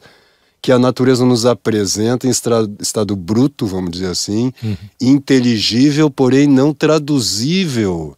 E que a arte, né, tá aí e pra que a arte, a tentar- Uhum. cultura, a filosofia estão aí para isso, né? E eu acho que o filme consegue dar esta chave, Uhum. né? Você vê não só o, a realidade do Olavo hoje, mas você vê toda uma tradição filosófica e artística, até por conta do Josias, você tem uma citação lá do Eisenstein, Isso. né? Do, dos próprios Tarkovsky. do Tarkovsky Tarkovsky, do também, Sibelius. Tarkovsky, Sibelius. Você tem uma tradição por trás ali que é incorporada Mesmo organicamente caipira, né? Quando ele entra filme. numa loja, tem, um, tem uma música caipira Sim, tocando antiga. sim. Ah, é. É, tem os bang bang. É muito. é. Ou seja, não, é, é, é, a ideia de que, que hoje em dia é muito comum também no meio artístico, ou pelo menos no meio pseudo-artístico, a ideia de que assim, o novo é um valor. É, exatamente. Eu costumo dizer assim, olha, pode ser que nunca ninguém tenha feito isso antes, porque nunca foi, ninguém foi suficientemente idiota para fazer. fazer, claro. Por exemplo, né? Cagar na rua, que nem os É, caras fazem. é. Tipo, achei bonito. Mas é, curioso. Desde que a Yoko Ono emite urros. Ai, Sim, sim. que ela, né? Sim. E é, e é muito fácil, né? Quando, quando eu era moleque e tinha pretensões artísticas, eu pensava assim, porra, legal, né? Eu pinto um sim no teto, coloco uma escada branca e sou artista. Porra, qualquer jovem quer isso. Um- Claro. É não ter trabalho, ficar famoso e Atalho. comer muitas meninas. É. É, é o atalho pra isso, né? Uhum. E eu acho que de repente o mundo inteiro se infantilizou num nível que os velhos estão pensando assim já. Sim, Sim. ficou. É porque veio uma E- Não, mas, geração, né? É. É que a gente tem que lembrar, peraí, isso aí começou há bastante tempo. Quem começou isso aí já morreu.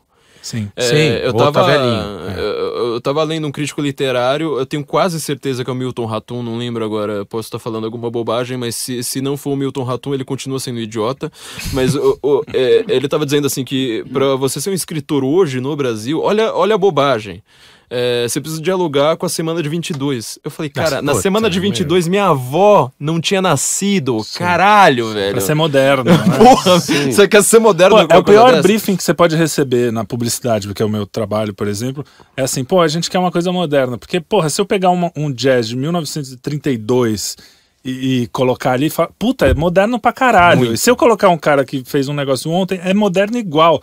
Ou seja, é, um, é uma palavra vazia, como fascista, né? É, que eles xingam a gente. de novo. É, é, de novo.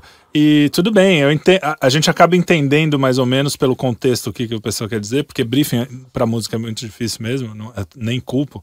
Mas eu penso, cara, faz um esforço pra ser um pouquinho mais. Mas claro. mais- específico. algumas palavras diferentes, porque. é, e é isso, a- o uso da palavra.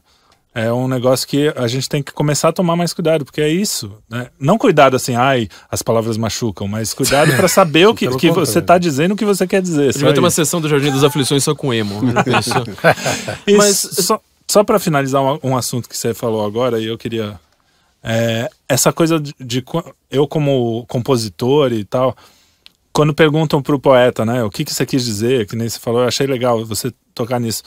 O, tem um cara que escreveu um livro que chama A, a Arte da Guerra é do Sun Tzu, né? Do Sun. Tzu Então é a Guerra da. Arte, que é. É. até meio autoajuda, mas o Gurgel falou que gostou, então eu já posso falar assim sem medo. aliás, vocês falaram uma coisa aqui que remete ao Gurgel, né? Vocês falaram que tinha muita retórica, né? Tipo, e, e E- como o nome do é, livro dele, né? Assim, todo mundo virou retórico, virou é, um, um- relações públicas de alguém Sim. e não Isso. tem mais literatura. Sim. É muita retórica e pouca, li- arte, é, na pouca literatura ou É. pouca arte aqui.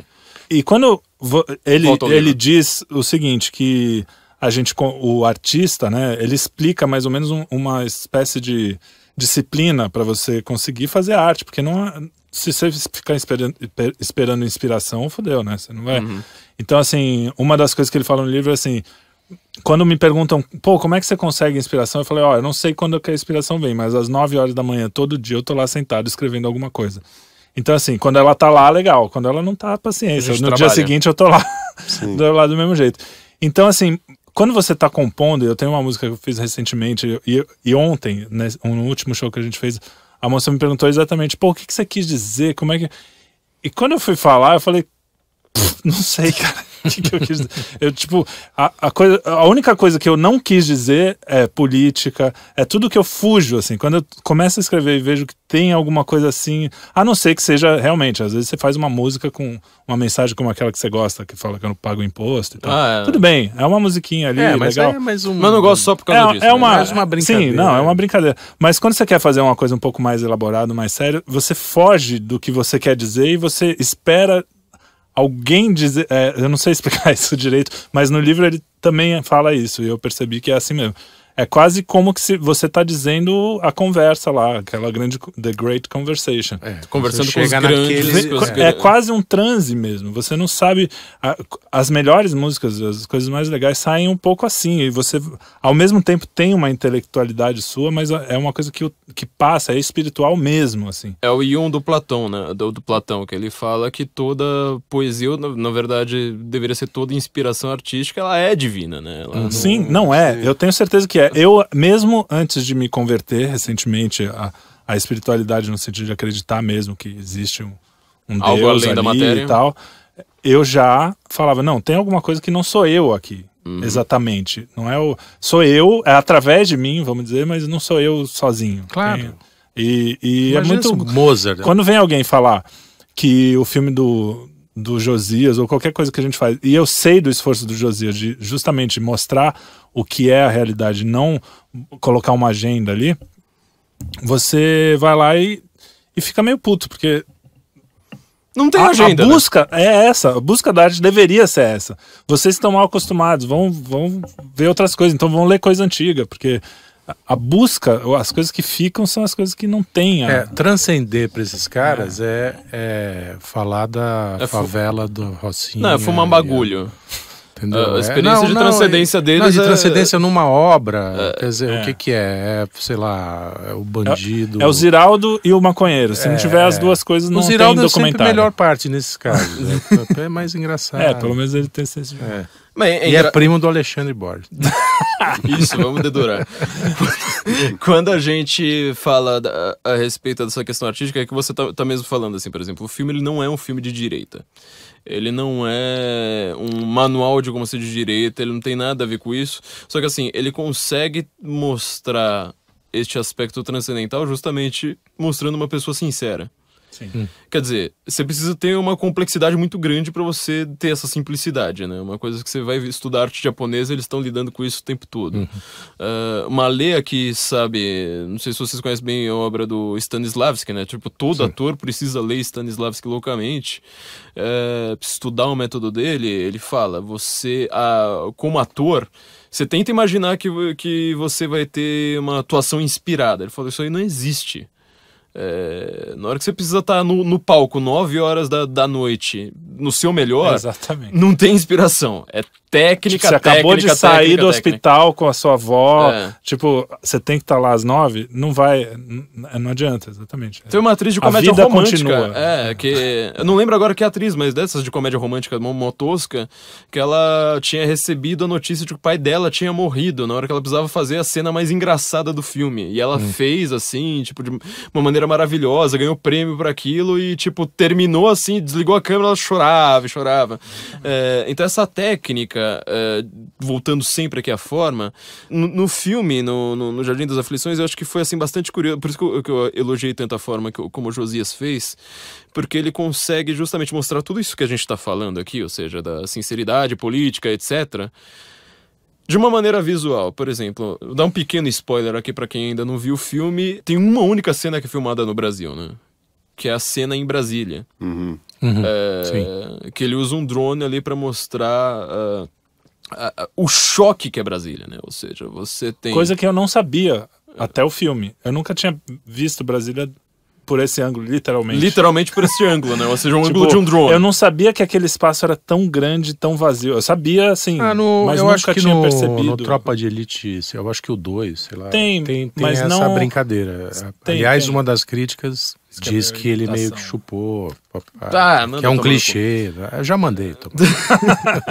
Mas nessa cena, você consegue ver ali nitidamente o quanto que o Brasil, bem ao contrário da América, por exemplo, tem, tem esse contraste também, né? Única cena no Brasil contrastando com, com muita cena filmada ali na Virgínia. O Brasil, ele tá afastado de toda a capacidade de, de realidade. Quer dizer, o político, ele tá tão afastado de um povo que você pega um avião pra ver onde que tá o político, onde tá o povo, você fica ali Sim. horas, horas, Fazendo horas, zoom horas, out. fala- é. Tipo, fazendo zoom, zoom, zoom, zoom, zoom, e fala assim, eu não tem uma viva alma aqui.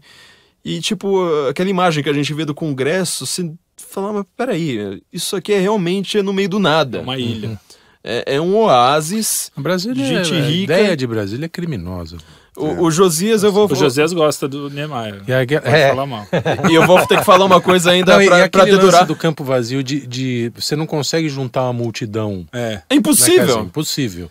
A não ser que seja assim, 20 milhões de pessoas. É, você tem que né? chamar, Põe colocar o Brasil inteiro ali pra você colocar na, na- naquele e, lugar. E isso é muito opressor. Quando você vê qualquer manifestação lá, é, Parece o homem né? está oprimido ali. Sim, entendeu? sim. Ele, né, é, pelo menos a sensação é essa. É, eu acho que é, é a parte. Josias é, é- é a maior Defeito. mancada desse cara é gostar do- de Brasília e de Niemeyer. Brasília de Neymar e ainda vou piorar. Isso era o suficiente para. Além de ser vegetariano, ainda vou criticar ainda mais. Ele, o, o Roger Scruton, ele fala que Brasília é um monumento à alienação urbana. Hum. Justamente por, por isso que a gente está dizendo. Ou seja, Isso. você tem até aquela catedral lá que é, É, o homem é zero, sim. né?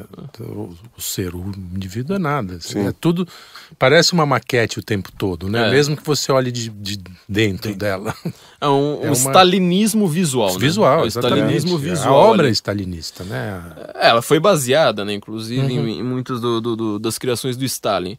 Mas é, o Josias, ele não vai gostar. O Roger Scruton fala isso, o Josias não gosta do Roger Scruton e fala que aquele Why Built Matters não é tão bom assim. E ele tem umas explicações boas, mas Não, esse filme do Olavo é uma merda. É, eu vou só dedurar, sabe por quê? Porque o Josias tem explicação, aí todo mundo obriga o Josias a falar, ele vai ficar puto. né? Então, então vai ser isso. Eu quero fazer uma crítica ao Olavo também, aproveitando que, que a gente tá, tá, tá na hora de meter o pau, porque assim, é, a gente já precisa encerrar o programa, né? Já, já tá mais É, longo que. Falando em forma, né? É, falando em Meu forma e amigo. trabalhar, Tá mais longo que o filme já. tá mais longo que o filme, a gente precisa trabalhar, né? Pelo menos vocês trabalham, eu não. Eu tô ganhando pra estar aqui, eu acho. Ah, Eu tô ganhando, inclusive, do Josias pra falar bem do filme. Vou, vou ter desconto agora. Não, a gente tá ganhando do PSDB, da CIA, CIA. é, da, da CIA e de, não sei, eu preciso descobrir de onde veio o contra-cheque agora, dos irmãos Koch. Vai lá, vai. O Olavo, ele tem um sério defeito que ele fala no filme, inclusive ele, ele, ele é, admite o defeito. É, Atraiu os louquinhos. Atrai louco, meu. atrai louco. Assim, se você é louco, assim, se você é retardado, ou você vai amar o Olavo ou você vai odiar. Mas você não fica no meio, meu. Tipo, não enche o saco, cara. Se você, se você é retardado, você poderia não encher o saco, né? Agora Agora, tem maluco em volta do lado. e- Não, e- como tem maluco no mundo? É. não, ele tira Volta das de trevas. qualquer coisa. Aqui né? mesmo, é. Ele tira das trevas uns caras, tipo, você nunca teria ouvido falar em punheteu se não fosse o Velho. Quem seria Ah, mal do mano? punheteu. Caralho, velho. É... Eu, eu não, não falo, eu não gosto que fala mal. Sério, sério. Eu acho que ele. Bom, deixa eu falar. Hum, Não, então, meu, rolou meu- alguma coisa entre você e o punheteu? Não, eu acho que ele tem probleminha, coitado. Não, não, nossa, isso. meu, meu Deus do céu, né? Não se Descobriu a pólvora isso, agora. É tipo zoar o cara da. Eu sempre fui aquele cara que quando zoavam os marmanjos da classe, os fortinhos e tal, beleza, tava todo mundo junto. Vinha, batiam em mim, eu batia neles na Mas o de- retardado. Mas né, o cara que tem franzino. probleminha, eu nunca gostei, nunca foi minha praia. Não, te- teve um cara aqui, é, é Pirula, Pirula, como é que Pirula. chama? Piru, Pirula, né? pirula, pirula. Pirula, velho. Ah, o Pirula eu é... acho que não tem probleminha, não, pode sacanear. Não, é... o que eu acho complicado o seguinte, eu, eu ia até fazer um, um Quando momento... o punheteu, precisava comer ovo, né? Você precisa comer uns ovos, esse menino. Eu queria até aproveitar É. aqui, porque a gente tá fazendo sempre agora o nosso momento Vale um Kennedy, né? Opa, É, opa. É, e hoje nós temos a voz, a voz, não vou nem falar, a voz. A voz, The Voice. Nós temos The Voice aqui no Guten Morgen, certo? E, tipo, o Pirula, ele veio mexer o saco por causa do, do último episódio de aquecimento global, né? Pirula, é esse o nome? Pirula. Pirula. o Pirula. Vê lá. Olha só, né? A gente não consegue falar o sério. Pirula. né? Não, Não Pirula, viu? Não, porque o, Porra, velho. o último livro do Pirula, alguém consegue falar isso? Não, não, o pior, né? É que o cara, ele fala com a voz da ciência, né? Tipo, Sim. ah, nossa, pareceu um cientista.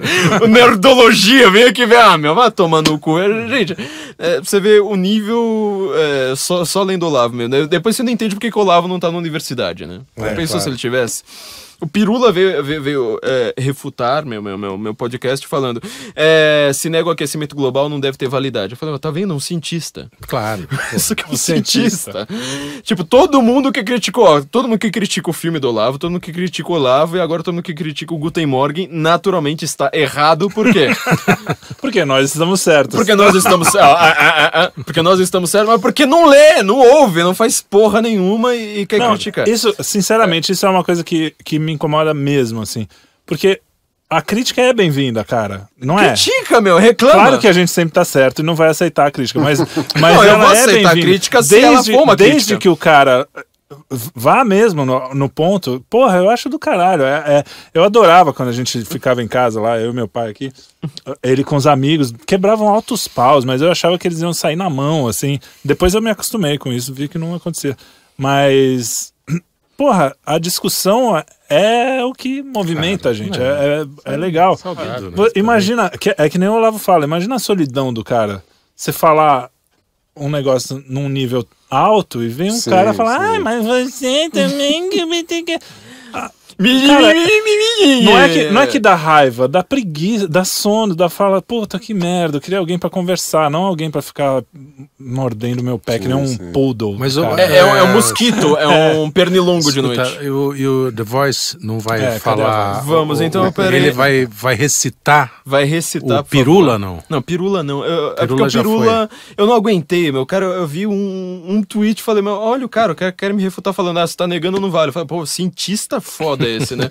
tipo, ele vai lá. é- argumento científico. Ele vai lá, coloca assim dois, depois ele tenta fazer toda a equação, né? Falando, não, tem, tem que dar dois aqui. É, é, é, gênio. É, vou colocar aqui a voz do Roberto Malê criticando aqui uma das, das pessoas que vieram criticar um dos episódios mais criticados do Guten Morgen, que foi o último sobre aquecimento global. É aqui de Matheus Pavão. Movimento Vale um Kennedy. Por favor, música, maestro. Criar um puta Strawman e refutá-lo é fácil, como você fez. Quero ver refutar embasamento científico. Aí tem um link aqui. Ah, me desculpa, esses papers científicos fazem parte da mídia globalista, então não são válidos, né? Acho que só são válidos mesmo o que a Exxon, aí tem um outro link, produzem, mas aí Vergonha, um site sério, com esse regurgitando o que think tanks petrolíferos vomitaram no oco cefálico americano da década de 80! Think tanks petrolíferos, descobri de onde a gente vai tirar o cheque agora. Porra. Porra. Eu, é, não, não, o pessoal. tanks- Ah, petrolíferos, porra. Primeiro que, é, primeiro que assim, não. não, não Resolveu meu mês, então. É, nossa, meu mês, cara, petróleo, velho, resolveu minha Pense vida. grande. gasto muito. Petróleo. Eu gasto muito.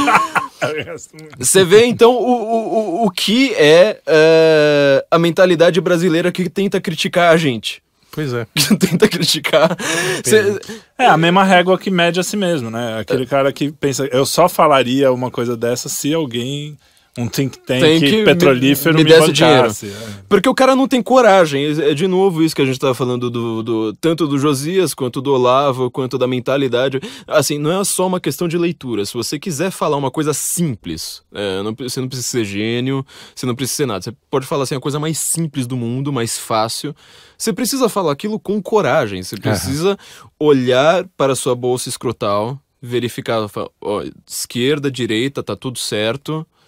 Simbora, e, e vamos- fazer jus a, Vamos pro a sua combate. existência. Vamos lutar a boa luta e agora a gente vai defender uma verdade. Às vezes pode ser uma verdade simples do tipo, olha, é, Metallica é melhor que Beatles. É, Never. é, uma verdade óbvia, autoprobante. Um dia a gente Agora- tem que fazer um, sem sacanagem, um podcast de música. De música, né? Um Só sobre debate musical, eu e você. Debate. mas Não aguenta um peido aí que é. Debate musical com Não, ele. só essa metálica Eu com, chamo o João Pedro, teu filho, pra, pra debater com musical com Morgan. Morgan. Quando você vai falar qualquer coisa, você precisa ter coragem, então. É, inclusive pra falar uma merda dessas. Agora, tipo, as pessoas elas não falam mais com coragem nenhuma. É, você não tem mais virtude, você não Voltamos ao mais... Trump e Bolsonaro. É, voltamos e é, pois é, né? Então, eu acho que é, é- é- é- mesmo pra quem não vai ver o filme, aliás, o filme já tá. é, O Josias ele falou que o filme tá indo muito bem, que 80%, se eu não me engano, aqui preciso confirmar a informação, mas acho que parece que quase. Acho que foi 80% do rendimento do Cine Belas Artes estava vindo só do filme. Puta, que ó, Então você vê, na verdade, é, o que é gente extremamente enrolada, né? Tipo, que não tem coragem, tipo, o dono do cinema, ele não tem coragem de colocar lá o Exato. Jardim das Aflições. Você vê como é que ele tá perdendo com isso. O cara não tá ganhando nada, ele tá simplesmente tentando ganhar um aplausinho ali da galera é, que não vai dar em nada. Enquanto que as pessoas com coragem estão. tem gente faturando, inclusive, com isso, né? Esse filme ele foi muito bem feito. Ele é um filme é, que dá público. É um filme. Sim. É, mostrou que veio mesmo, né? Um filme que tá dando Bom, público. o próprio, o próprio é, não é imbecil, como é que é? O, tu- o que você não precisa, precisa ser saber pra não ser idiota. para não ser idiota mostra a demanda absurda das pessoas por uma coisa que não seja de extrema esquerda, como a maioria das coisas. E ele... tá dentro de uma categoria de best-seller no Brasil que tá estourando todas as. ah, E é um livro grande, caro, quer dizer, você Caro. fala que o Brasil não, não, não lê, É, pô, é, imagina. mo- é porque a gente Ah, não escreve. Escreve alguma coisa que a gente queira Escreve ler, alguma caralho. coisa que a gente queira ler. quanto que foi 500 mil exemplares? 700 mil, se eu não me engano, acho que foram Pra- 300 pra mil só na Brasil, primeira. Isso, cara. Ó, meu Pra pai foi Brasil, livreiro, ele sabe o que ele Brasil. tá falando. É, 700 imagina. mil exemplares. é. Nossa. Não, tenta colocar 700 não mil lembro. exemplares numa livraria. Eu não lembro. Eu acho que, sei lá, Paulo Coelho, talvez. É, Só essas coisas pra... Que pra- vende um milhão. É, tá, tá. Então, é um você- absurdo. Ou seja, é, um, é, é um- inclusive um nicho lucrativo. Por isso que, que irrita, né? Porque os próprios liberais, os empresários maiores, assim, eles ficam, às vezes, com medo de, de investir em coisas assim.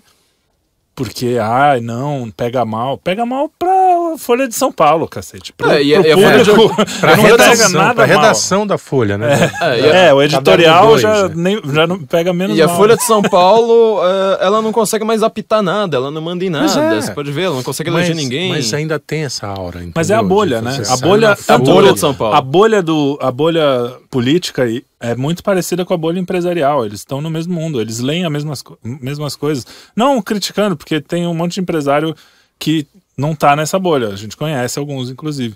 Mas, assim, é o cara que tá trabalhando pra caralho, ele tem tempo de Ele- ler o que tá na de mão. ver- de ler ele não é um filósofo, não é, um, News, não é assim, nenhum máximo- intelectual, não quer ser. Ele quer trabalhar e é o que ele tem que fazer, porque é a vocação dele que a gente falou. Mas a gente precisa quebrar essa barreira e eu acho que por isso, mais um motivo pra eu dar os parabéns pro Josias, mesmo que fosse uma bomba de filme, e não é, mas o fato dele fazer, ultrapassar essa barreira, o negócio é entrar em cartaz, no circuito. Sem financiamento público. É, tá no Kinoplex, bicho. Não é assim que tá no, na salinha escondida de arte ali no centro de São Paulo, tá? E, e tá em, em cartaz, assim, semanas. Nem sei se hoje ainda tá, mas ficou pelo menos duas, três semanas. Tá entrando em outras cidades, inclusive o, hoje já tem lançamento, agora não sei em que cidade, mas também não importa porque ninguém vai, vai me ouvir hoje. Hoje, é, é. é, Então isso é um, é um fenômeno muito mais importante do que parece, eu acho. sim. Tanto o livro do, do Felipe Moura Brasil e esse agora, porque a gente tá rompendo uma barreira. Isso é que a gente tem que fazer. Né? Tem algo diferente acontecendo no Brasil e não é pouca coisa diferente. É só você ver que a hegemonia do PT acabou. Falando em hegemonia do PT acabou, a gente tá falando de coragem, eu conversei e de empresários, eu tava numa reunião de empresários, falei com. mandei pro WhatsApp pra, pra Janaína. Ela mesmo falou uma coisa que muito me impressionou. Ela falou assim: olha, eh, os empresários hoje, eles ainda estão preocupados com partidinho. Tipo assim, ah, vamos ver se a gente coloca, consegue voltar ao PSDB, colocar o Henrique Meirelles, Sim. etc. Saber o que, que vão fazer com essas pequeniníssimas reformas que não servem pra nada. Eu lembro que a Janaína sempre deu, deu bronca nesses empresários falando, eu fiz esse impeachment sozinha. Pedi ajuda, falei, gente, eu preciso, sei lá, de um quarto de hotel, preciso de qualquer. Ninguém ajudou nada. Ela me respondeu, falou assim: "Ban- manda esse bando de frouxo levantar a bunda da, da cadeira. é, Sai, sai, desse lugar comum, para de ficar ouvindo esses mesmos políticos de sempre, para de ficar E ouvindo Folha de São Paulo. mesmo tudo. Mesma imprensa, mesmo, mesmo tudo, sabe? É, Deixa a imprensa falar. A gente não quer proibir ninguém de falar, mas presta atenção que eles estão falando merda, já faz tempo. E já. a gente precisa ouvir, eh, chegar nesses empresários falar assim: olha, filho, tenha uma coragem, de novo. Me ajuda a te ajudar. Me ajuda a te ajudar. Se você quer ter coragem, você quer, você quer lucrar mais, beleza, então vamos, vamos lá lucrar mais. Quem tá, tem, quem tá lucrando na América são as pessoas lá que, tipo, caem nessa, tipo, ai, Trump é, na, é Adolf Hitler? Ou é justamente a Ivanka. Trump? Aham. Sabe, Ivanka Trump lá, lá começou lá, CNN, não sei mais quem, um monte de jornalista desse- desses lugares falando, vamos fazer um boicote à marca dela. Ah, ah, mais aumentou 700%, 7 mil por cento, acho que foi 70 mil por cento, nem lembro direito.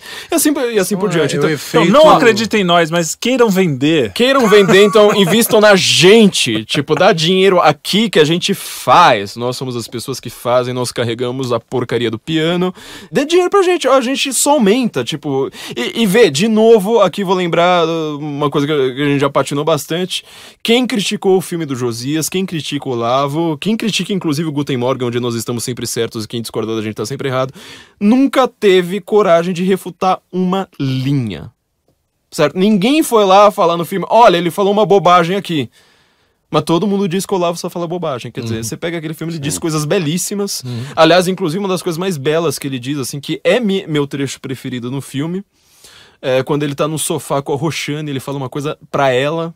É ela que tá lá con- contando lá, tipo, ah, de como ela conheceu o Olavo, não sei mais o quê.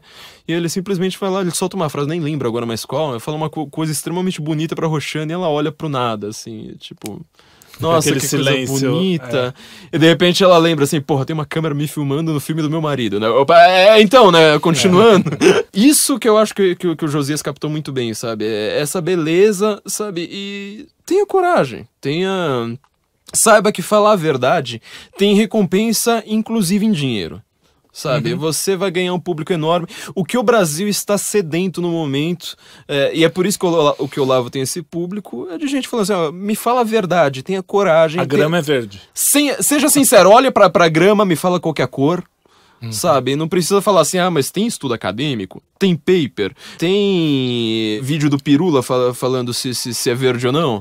Não. é, Estudos apontam. Estudos apontam, sabe? Tipo, saiu na capa da super interessante. Não, gente. tipo, olha pras coisas, simplesmente olha pras coisas, filosofia do common sense, volta pro mato, igual eu lá falando no começo do filme, né? Vai lá pro meio do mato e. E a vida jogo é é isso. de campeonato. E- É. Gente, é isso então. Muito obrigado. Considerações finais. Primeiro o Malê que Malê, falou Malê. mais aqui. Malê a voz que não fala. Não, minha consideração, eu não tenho nada a dizer mais. Eu só quero agradecer o convite do Flávio. Estar aqui com vocês é um prazer. E espero que a gente, quer dizer, a minha consideração é que assim, que não não pare esse movimento que de uma certa forma aí de falando da figura do próprio Olavo, do trabalho que ele fez nas últimas décadas, muito muito desse dessa renovação, desse uma espécie de ar puro, né, que entrou na cultura brasileira, onde a gente começa a olhar as várias perspectivas e não uma única, se deve a um trabalho que o Olavo foi pioneiro nisso. Ele fez, a, a gente nem citou, citou muito ano passado aqui o Throughout Speak, né, mas você começou Sim. com uma referência ao Throughout Speak que não aparece no filme, talvez porque dentro da, né, do roteiro do Josias não tinha muito onde encaixar. Não seria visual, hum. né, também? É, não. mas o True Outspeak foi assim, uma mudança, um, um divisor de águas. Foi. E um puta achado, né, dele pegar é, é, encontrar aquela forma que as pessoas acabam identificando com ele, quando na verdade é uma personagem.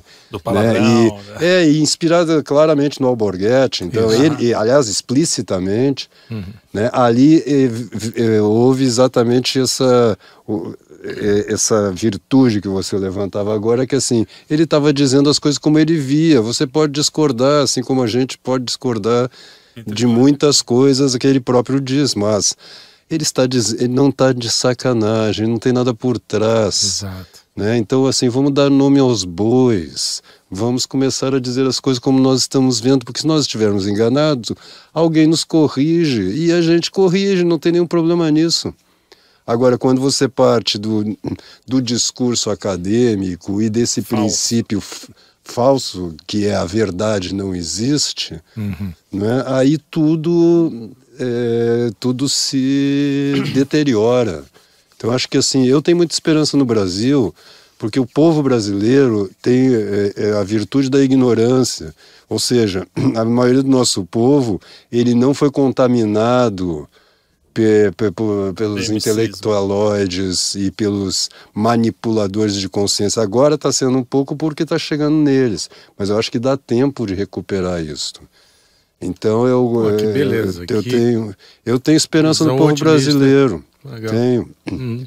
São João Bosco também tem aquela famosa né, profecia em que ele fala que alguma coisa muito boa e de renovação vai acontecer por aqui, uhum. na América do Sul. E eu acho que o Brasil tem tudo para ter isso, porque eu acho que o povo brasileiro é um povo bom ainda. Nós estamos, é que a gente vive no meio de São Paulo e aí a gente está contaminado. É, exato. Mas, realidade é aquela real. história do é, filme. Né? É, é, que nem eu falo, a gente pensa que mora na Europa, mas né, quem mora aqui passa pelos jardins, mesmo, mesmo quem está mais na periferia, é, a gente acha que mora num país normal. Civilizado. Mas, mas você sai já de São Paulo, do estado de São Paulo, em Minas já, você já vê lugares é. que. E vamos, olha, nós temos uma tradição riquíssima popular mesmo, Sim. e não de cultura de massa, que as pessoas confundem Exatamente. cultura de massa com cultura popular. Pelo contrário, a cultura popular está sendo destruída pela cultura de massa. Uhum. E aí, ao contrário, São Paulo é o pior lugar, né? É. Nesse é. ponto é. Então, ó, eh, minhas considerações finais é essa. Vamos assim, ó, amar a nossa, amar a tradição e ir adiante levar adiante que os nossos pais, avós e bisavós fizeram. Boa! Coisa bonita, né? O que, que, a gente fala depois de uma Depois dessa, acho é, que a gente vai é. calar.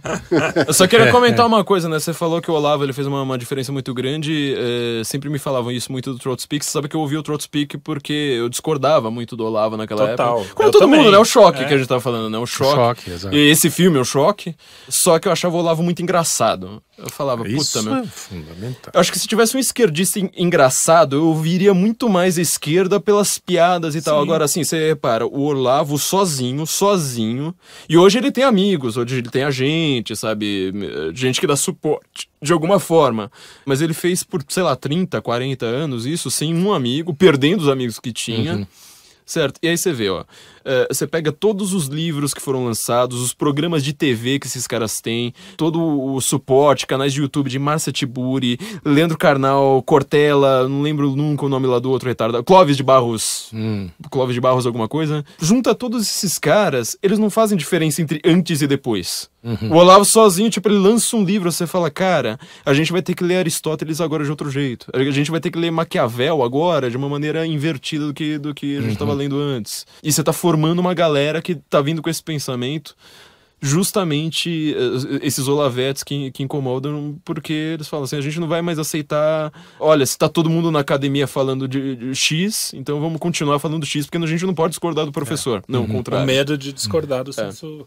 Quer dizer, não é nem o senso comum, né? O senso É. acadêmico. É, do senso acadêmico. É, exato. Luigi, Bem, a gente falou agora há pouco da, da nossa geração, né? Eu e o Malê, somos aqui os anciões. Falamos do desbunde, né? Eu, eu tenho impressão, quer dizer, não sei se é a mesma experiência que você teve, mas assim, o desbunde, eu, eu era um cara que estava ligado à esquerda mais tradicional por muito pouco tempo, quer dizer, foi o primeiro encantamento. Eu tinha um, um amigo da família que era comunista, era do Partido Comunista e tal, e ele me seduziu, porque é sedutor, né? A gente sabe que é. Todos Ah, iguais, to- to- é, maravilha. igualdade, etc. E a, a- o desbunde, como você falou, me pareceu uma ruptura. É, Quer dizer, a contracultura era contra, inclusive, a cultura da esquerda, né? Da esquerda tradicional, do Partido Comunista, do stalinismo, etc. Sim. Eu sinto uma coisa muito parecida depois que fui me endireitando e, e- e chegando próximo ao conservadorismo. E concordo com aquele menino, que eu não vou lembrar o nome dele, que tem um, um, um negócio na internet, ele diz que a, a- o conservadorismo é a nova contracultura. Eu não tenho dúvida disso. Quer dizer, esse frescor que você diz que está chegando aqui é, é muito mais próximo ao conservadorismo Sim. do que as ideias novas, entre aspas, né? Quer dizer, o que chamam de novo. Então, jovens, sejam contra a cultura, sejam conservadores, envelheçam, como diria o nosso Nelson. É isso, por hora.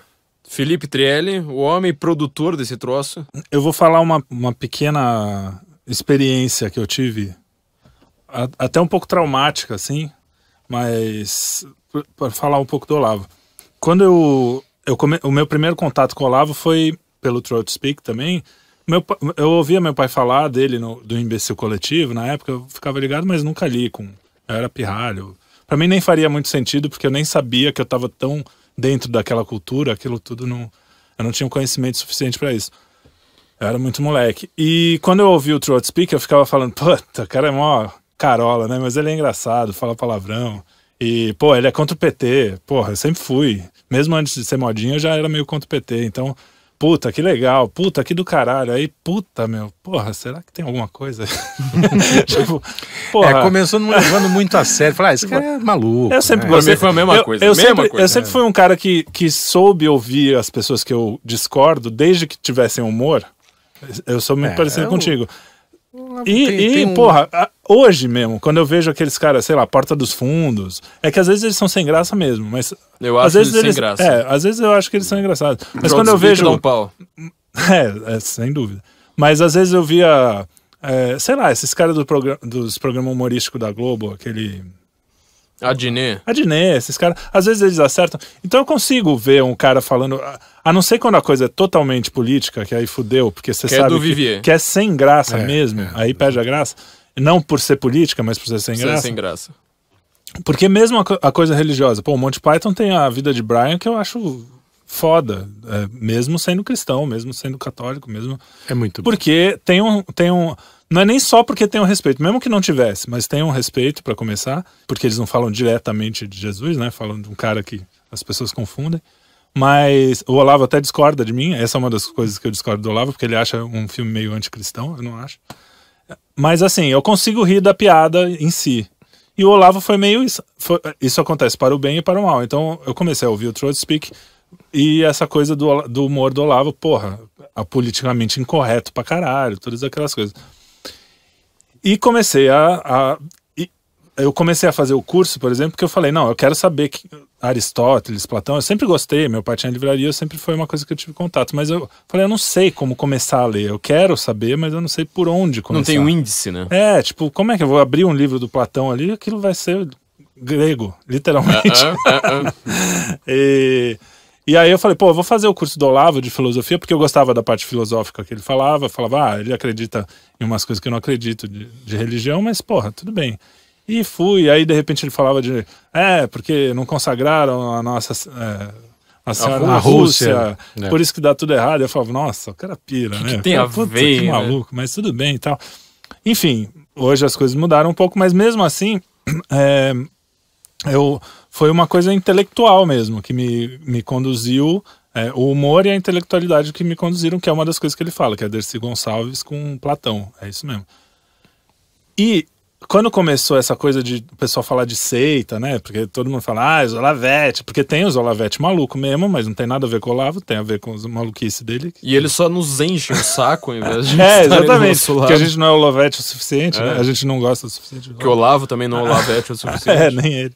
É, e, e eu tive uma experiência pessoal de seita mesmo. Eu vi, eu vi gente que eu gosto muito é, participar disso. E, meu, tipo, os caras não sabem o que eles estão falando do que é uma seita. Você não sabe o que é uma seita. É, é um negócio muito assustador. Claro que tem elementos, justamente porque a- a- um cara que vai criar uma seita, se ele olhar um- uma estante de microfone, vai falar, ah, tipo, Hum. vai, é, é- vem do cara que, que admira qualquer É, tem a coisa. vulnerabilidade tem, do- tem a ver com o cara que tá ali. qualquer- então o Olavo fala coisas, e ele realmente é um cara carismático, tem fala a verdade, algumas coisas, né, que são muito mais que a média que você vê por aí. Então, aquela coisa, o cara se encanta num nível muito maior, mas não quer dizer. Isso, eu queria dar um recado assim, tipo, cara, seita não é nada disso, vocês viajam. É, a gente é muito normal, menos Não o Morgan. Tirando o Morgan aqui, todo mundo aqui é muito normal. E, enfim, é, é isso. Como a gente está falando do Olavo, eu achei que era importante falar desse assunto, porque. Enfim, as pessoas às vezes perdem umas coisas legais que ele fala só porque. Só por causa de Ai, bobagem. meu Deus, ele... É, no aniversário dele, eu escrevi no Censo um artigo lá, pare de frescurite, valeu Olavo de Carvalho, porque eu tava justamente pegando todos aqueles elementos que, assim, todo crítico do Olavo de Carvalho vai falar que ele é astrólogo, vai falar que ele é Pepsi. da Pepsi, vai falar qual é, qual é o outro, que ele refutou Newton, Que você explicou muito bem no e último que, programa. é, o Newton, o Newton também Eu, isso do- era uma do coisa que me incomodava um pouco. Porra, o cara também refutando Newton. Refutar Newton, né? É. Não, pior que foi um amigo físico meu, né? Aliás, eu vou dar uma dica aqui, é, que o Olavo ele dá mais ou menos essa dica, mas assim, todo mundo quer entender como é que você pode ser inteligente inteligente em diversos assuntos. Nós que somos inteligentes em diversos assuntos e a gente nunca erra, porque a gente tá sempre certo nesse programa, quem discorda da gente tá errado. Eu vou te dar a dica de ouro, cara. Converse. Para de, de. Quando você vai pro bar, ao invés de você falar de mulher, fala, tipo, ó, você tem um amigo advogado, fala, e como é que tá seu trabalho? Ah, como é que é? Me explica. Que, que, qual que é seu trabalho? O que é que Pode você botar faz? umas mulherzinhas no meio também. Pode né? botar É, mulher no meio. ninguém. Senão pô. vai deixar. Os caras já são nerd que ouvem isso aqui. Você ainda vai botar os caras. Não, mas inclusive tem- Não vamos reproduzir, aí fudeu, Aliás, né? uma coisa na qual uma coisa na qual concordo loucamente com o Olavo é o seguinte: beleza e inteligência estão muito atreladas, bem ao contrário do que se diz. É, Aham. é muito, é muito difícil você ver mulher é, bonita que seja. A não ser na Globo. A Globo é o único lugar que você você vai ver mulher que é, que é bonita e que é, que é burra. É. Mas geralmente na vida real, na vida concreta.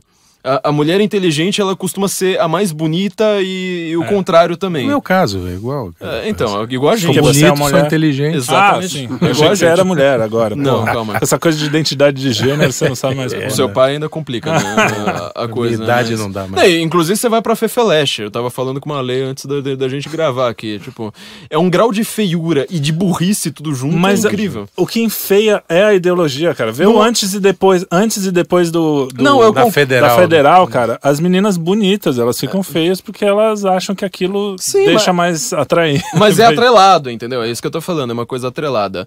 Não, eu tava falando do Olavo, de saco de Pepsi, não sei mais o que. Então É. converse com as pessoas, certo? Tipo, pergunte. Eu tinha amigos físicos, aprendi física, física desse jeito, porque eu tinha uma aula particular ali na minha Claro, frente. claro.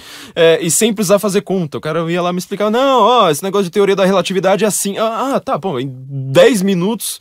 Não, é, que, é, explicado que é a mim. diferença entre você entender um assunto e você praticar. Você não vai ser um físico que vai Uhum. construir uma bomba atômica, mas você entendeu a- o lance. Exatamente, acabou o problema. Então essa é Porque vão que eu dou falar, ai, mas você acha que você vai aprender em duas horas. É, pois é. Não, mas eu aprendo muito mais em 15 minutos conversando com uma pessoa do que em tipo 10 horas lendo paper. É, enfim. É.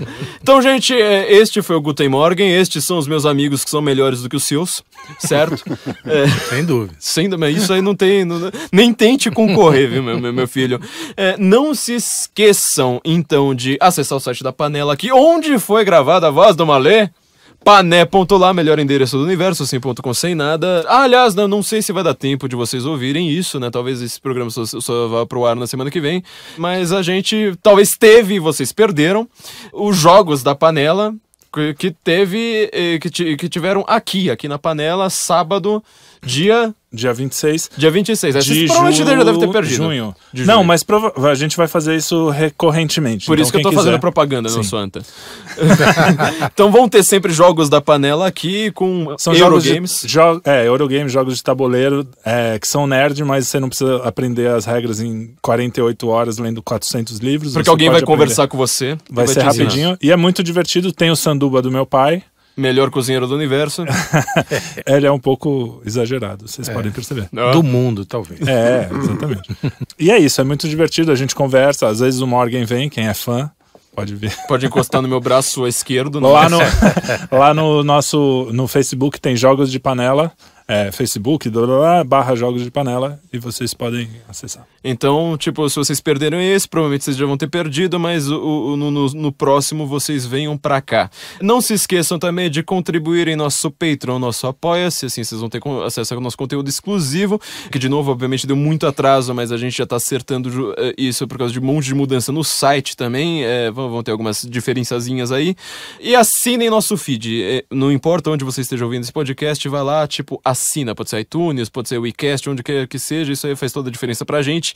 E comentem, vão lá, tanto no, pode ir lá no, no SoundCloud, no iTunes, e comente lá também, fala assim, olha, é, gostei, ponto, é, dê sua notinha lá, isso aí vai fazer toda a diferença pra gente. Então, gente, é isso, parabéns ao Josias, parabéns ao Matheus Batso também, parabéns ao Malê que aparece no filme, É, parabéns a vocês, muito obrigado, gente, muito obrigado a todos pela audiência, Obrigado e nos ouvimos na semana que vem com o Guten Morgen, vamos terminar com ursinhos carinhosos. Ah, tá bom, não vai ser ursinhos carinhosos, então vamos falar de urso, né, já que todo mundo reclamou que o filme não tem assassinato de urso, genocídio ursístico. Que, fi- que música que a gente termina, então, meu amigo? A gente vai terminar com uma música de uns caras que você adora, que são hip, né? Puta são que hippies. O Olavo também adora. Jerry Garcia, é, Teddy Bears Picnic. Ted Bears Picnic. Então, Guten Morgen Brasília, nos ouvimos na semana que vem. If you go down to the woods today, you're sure of a big surprise.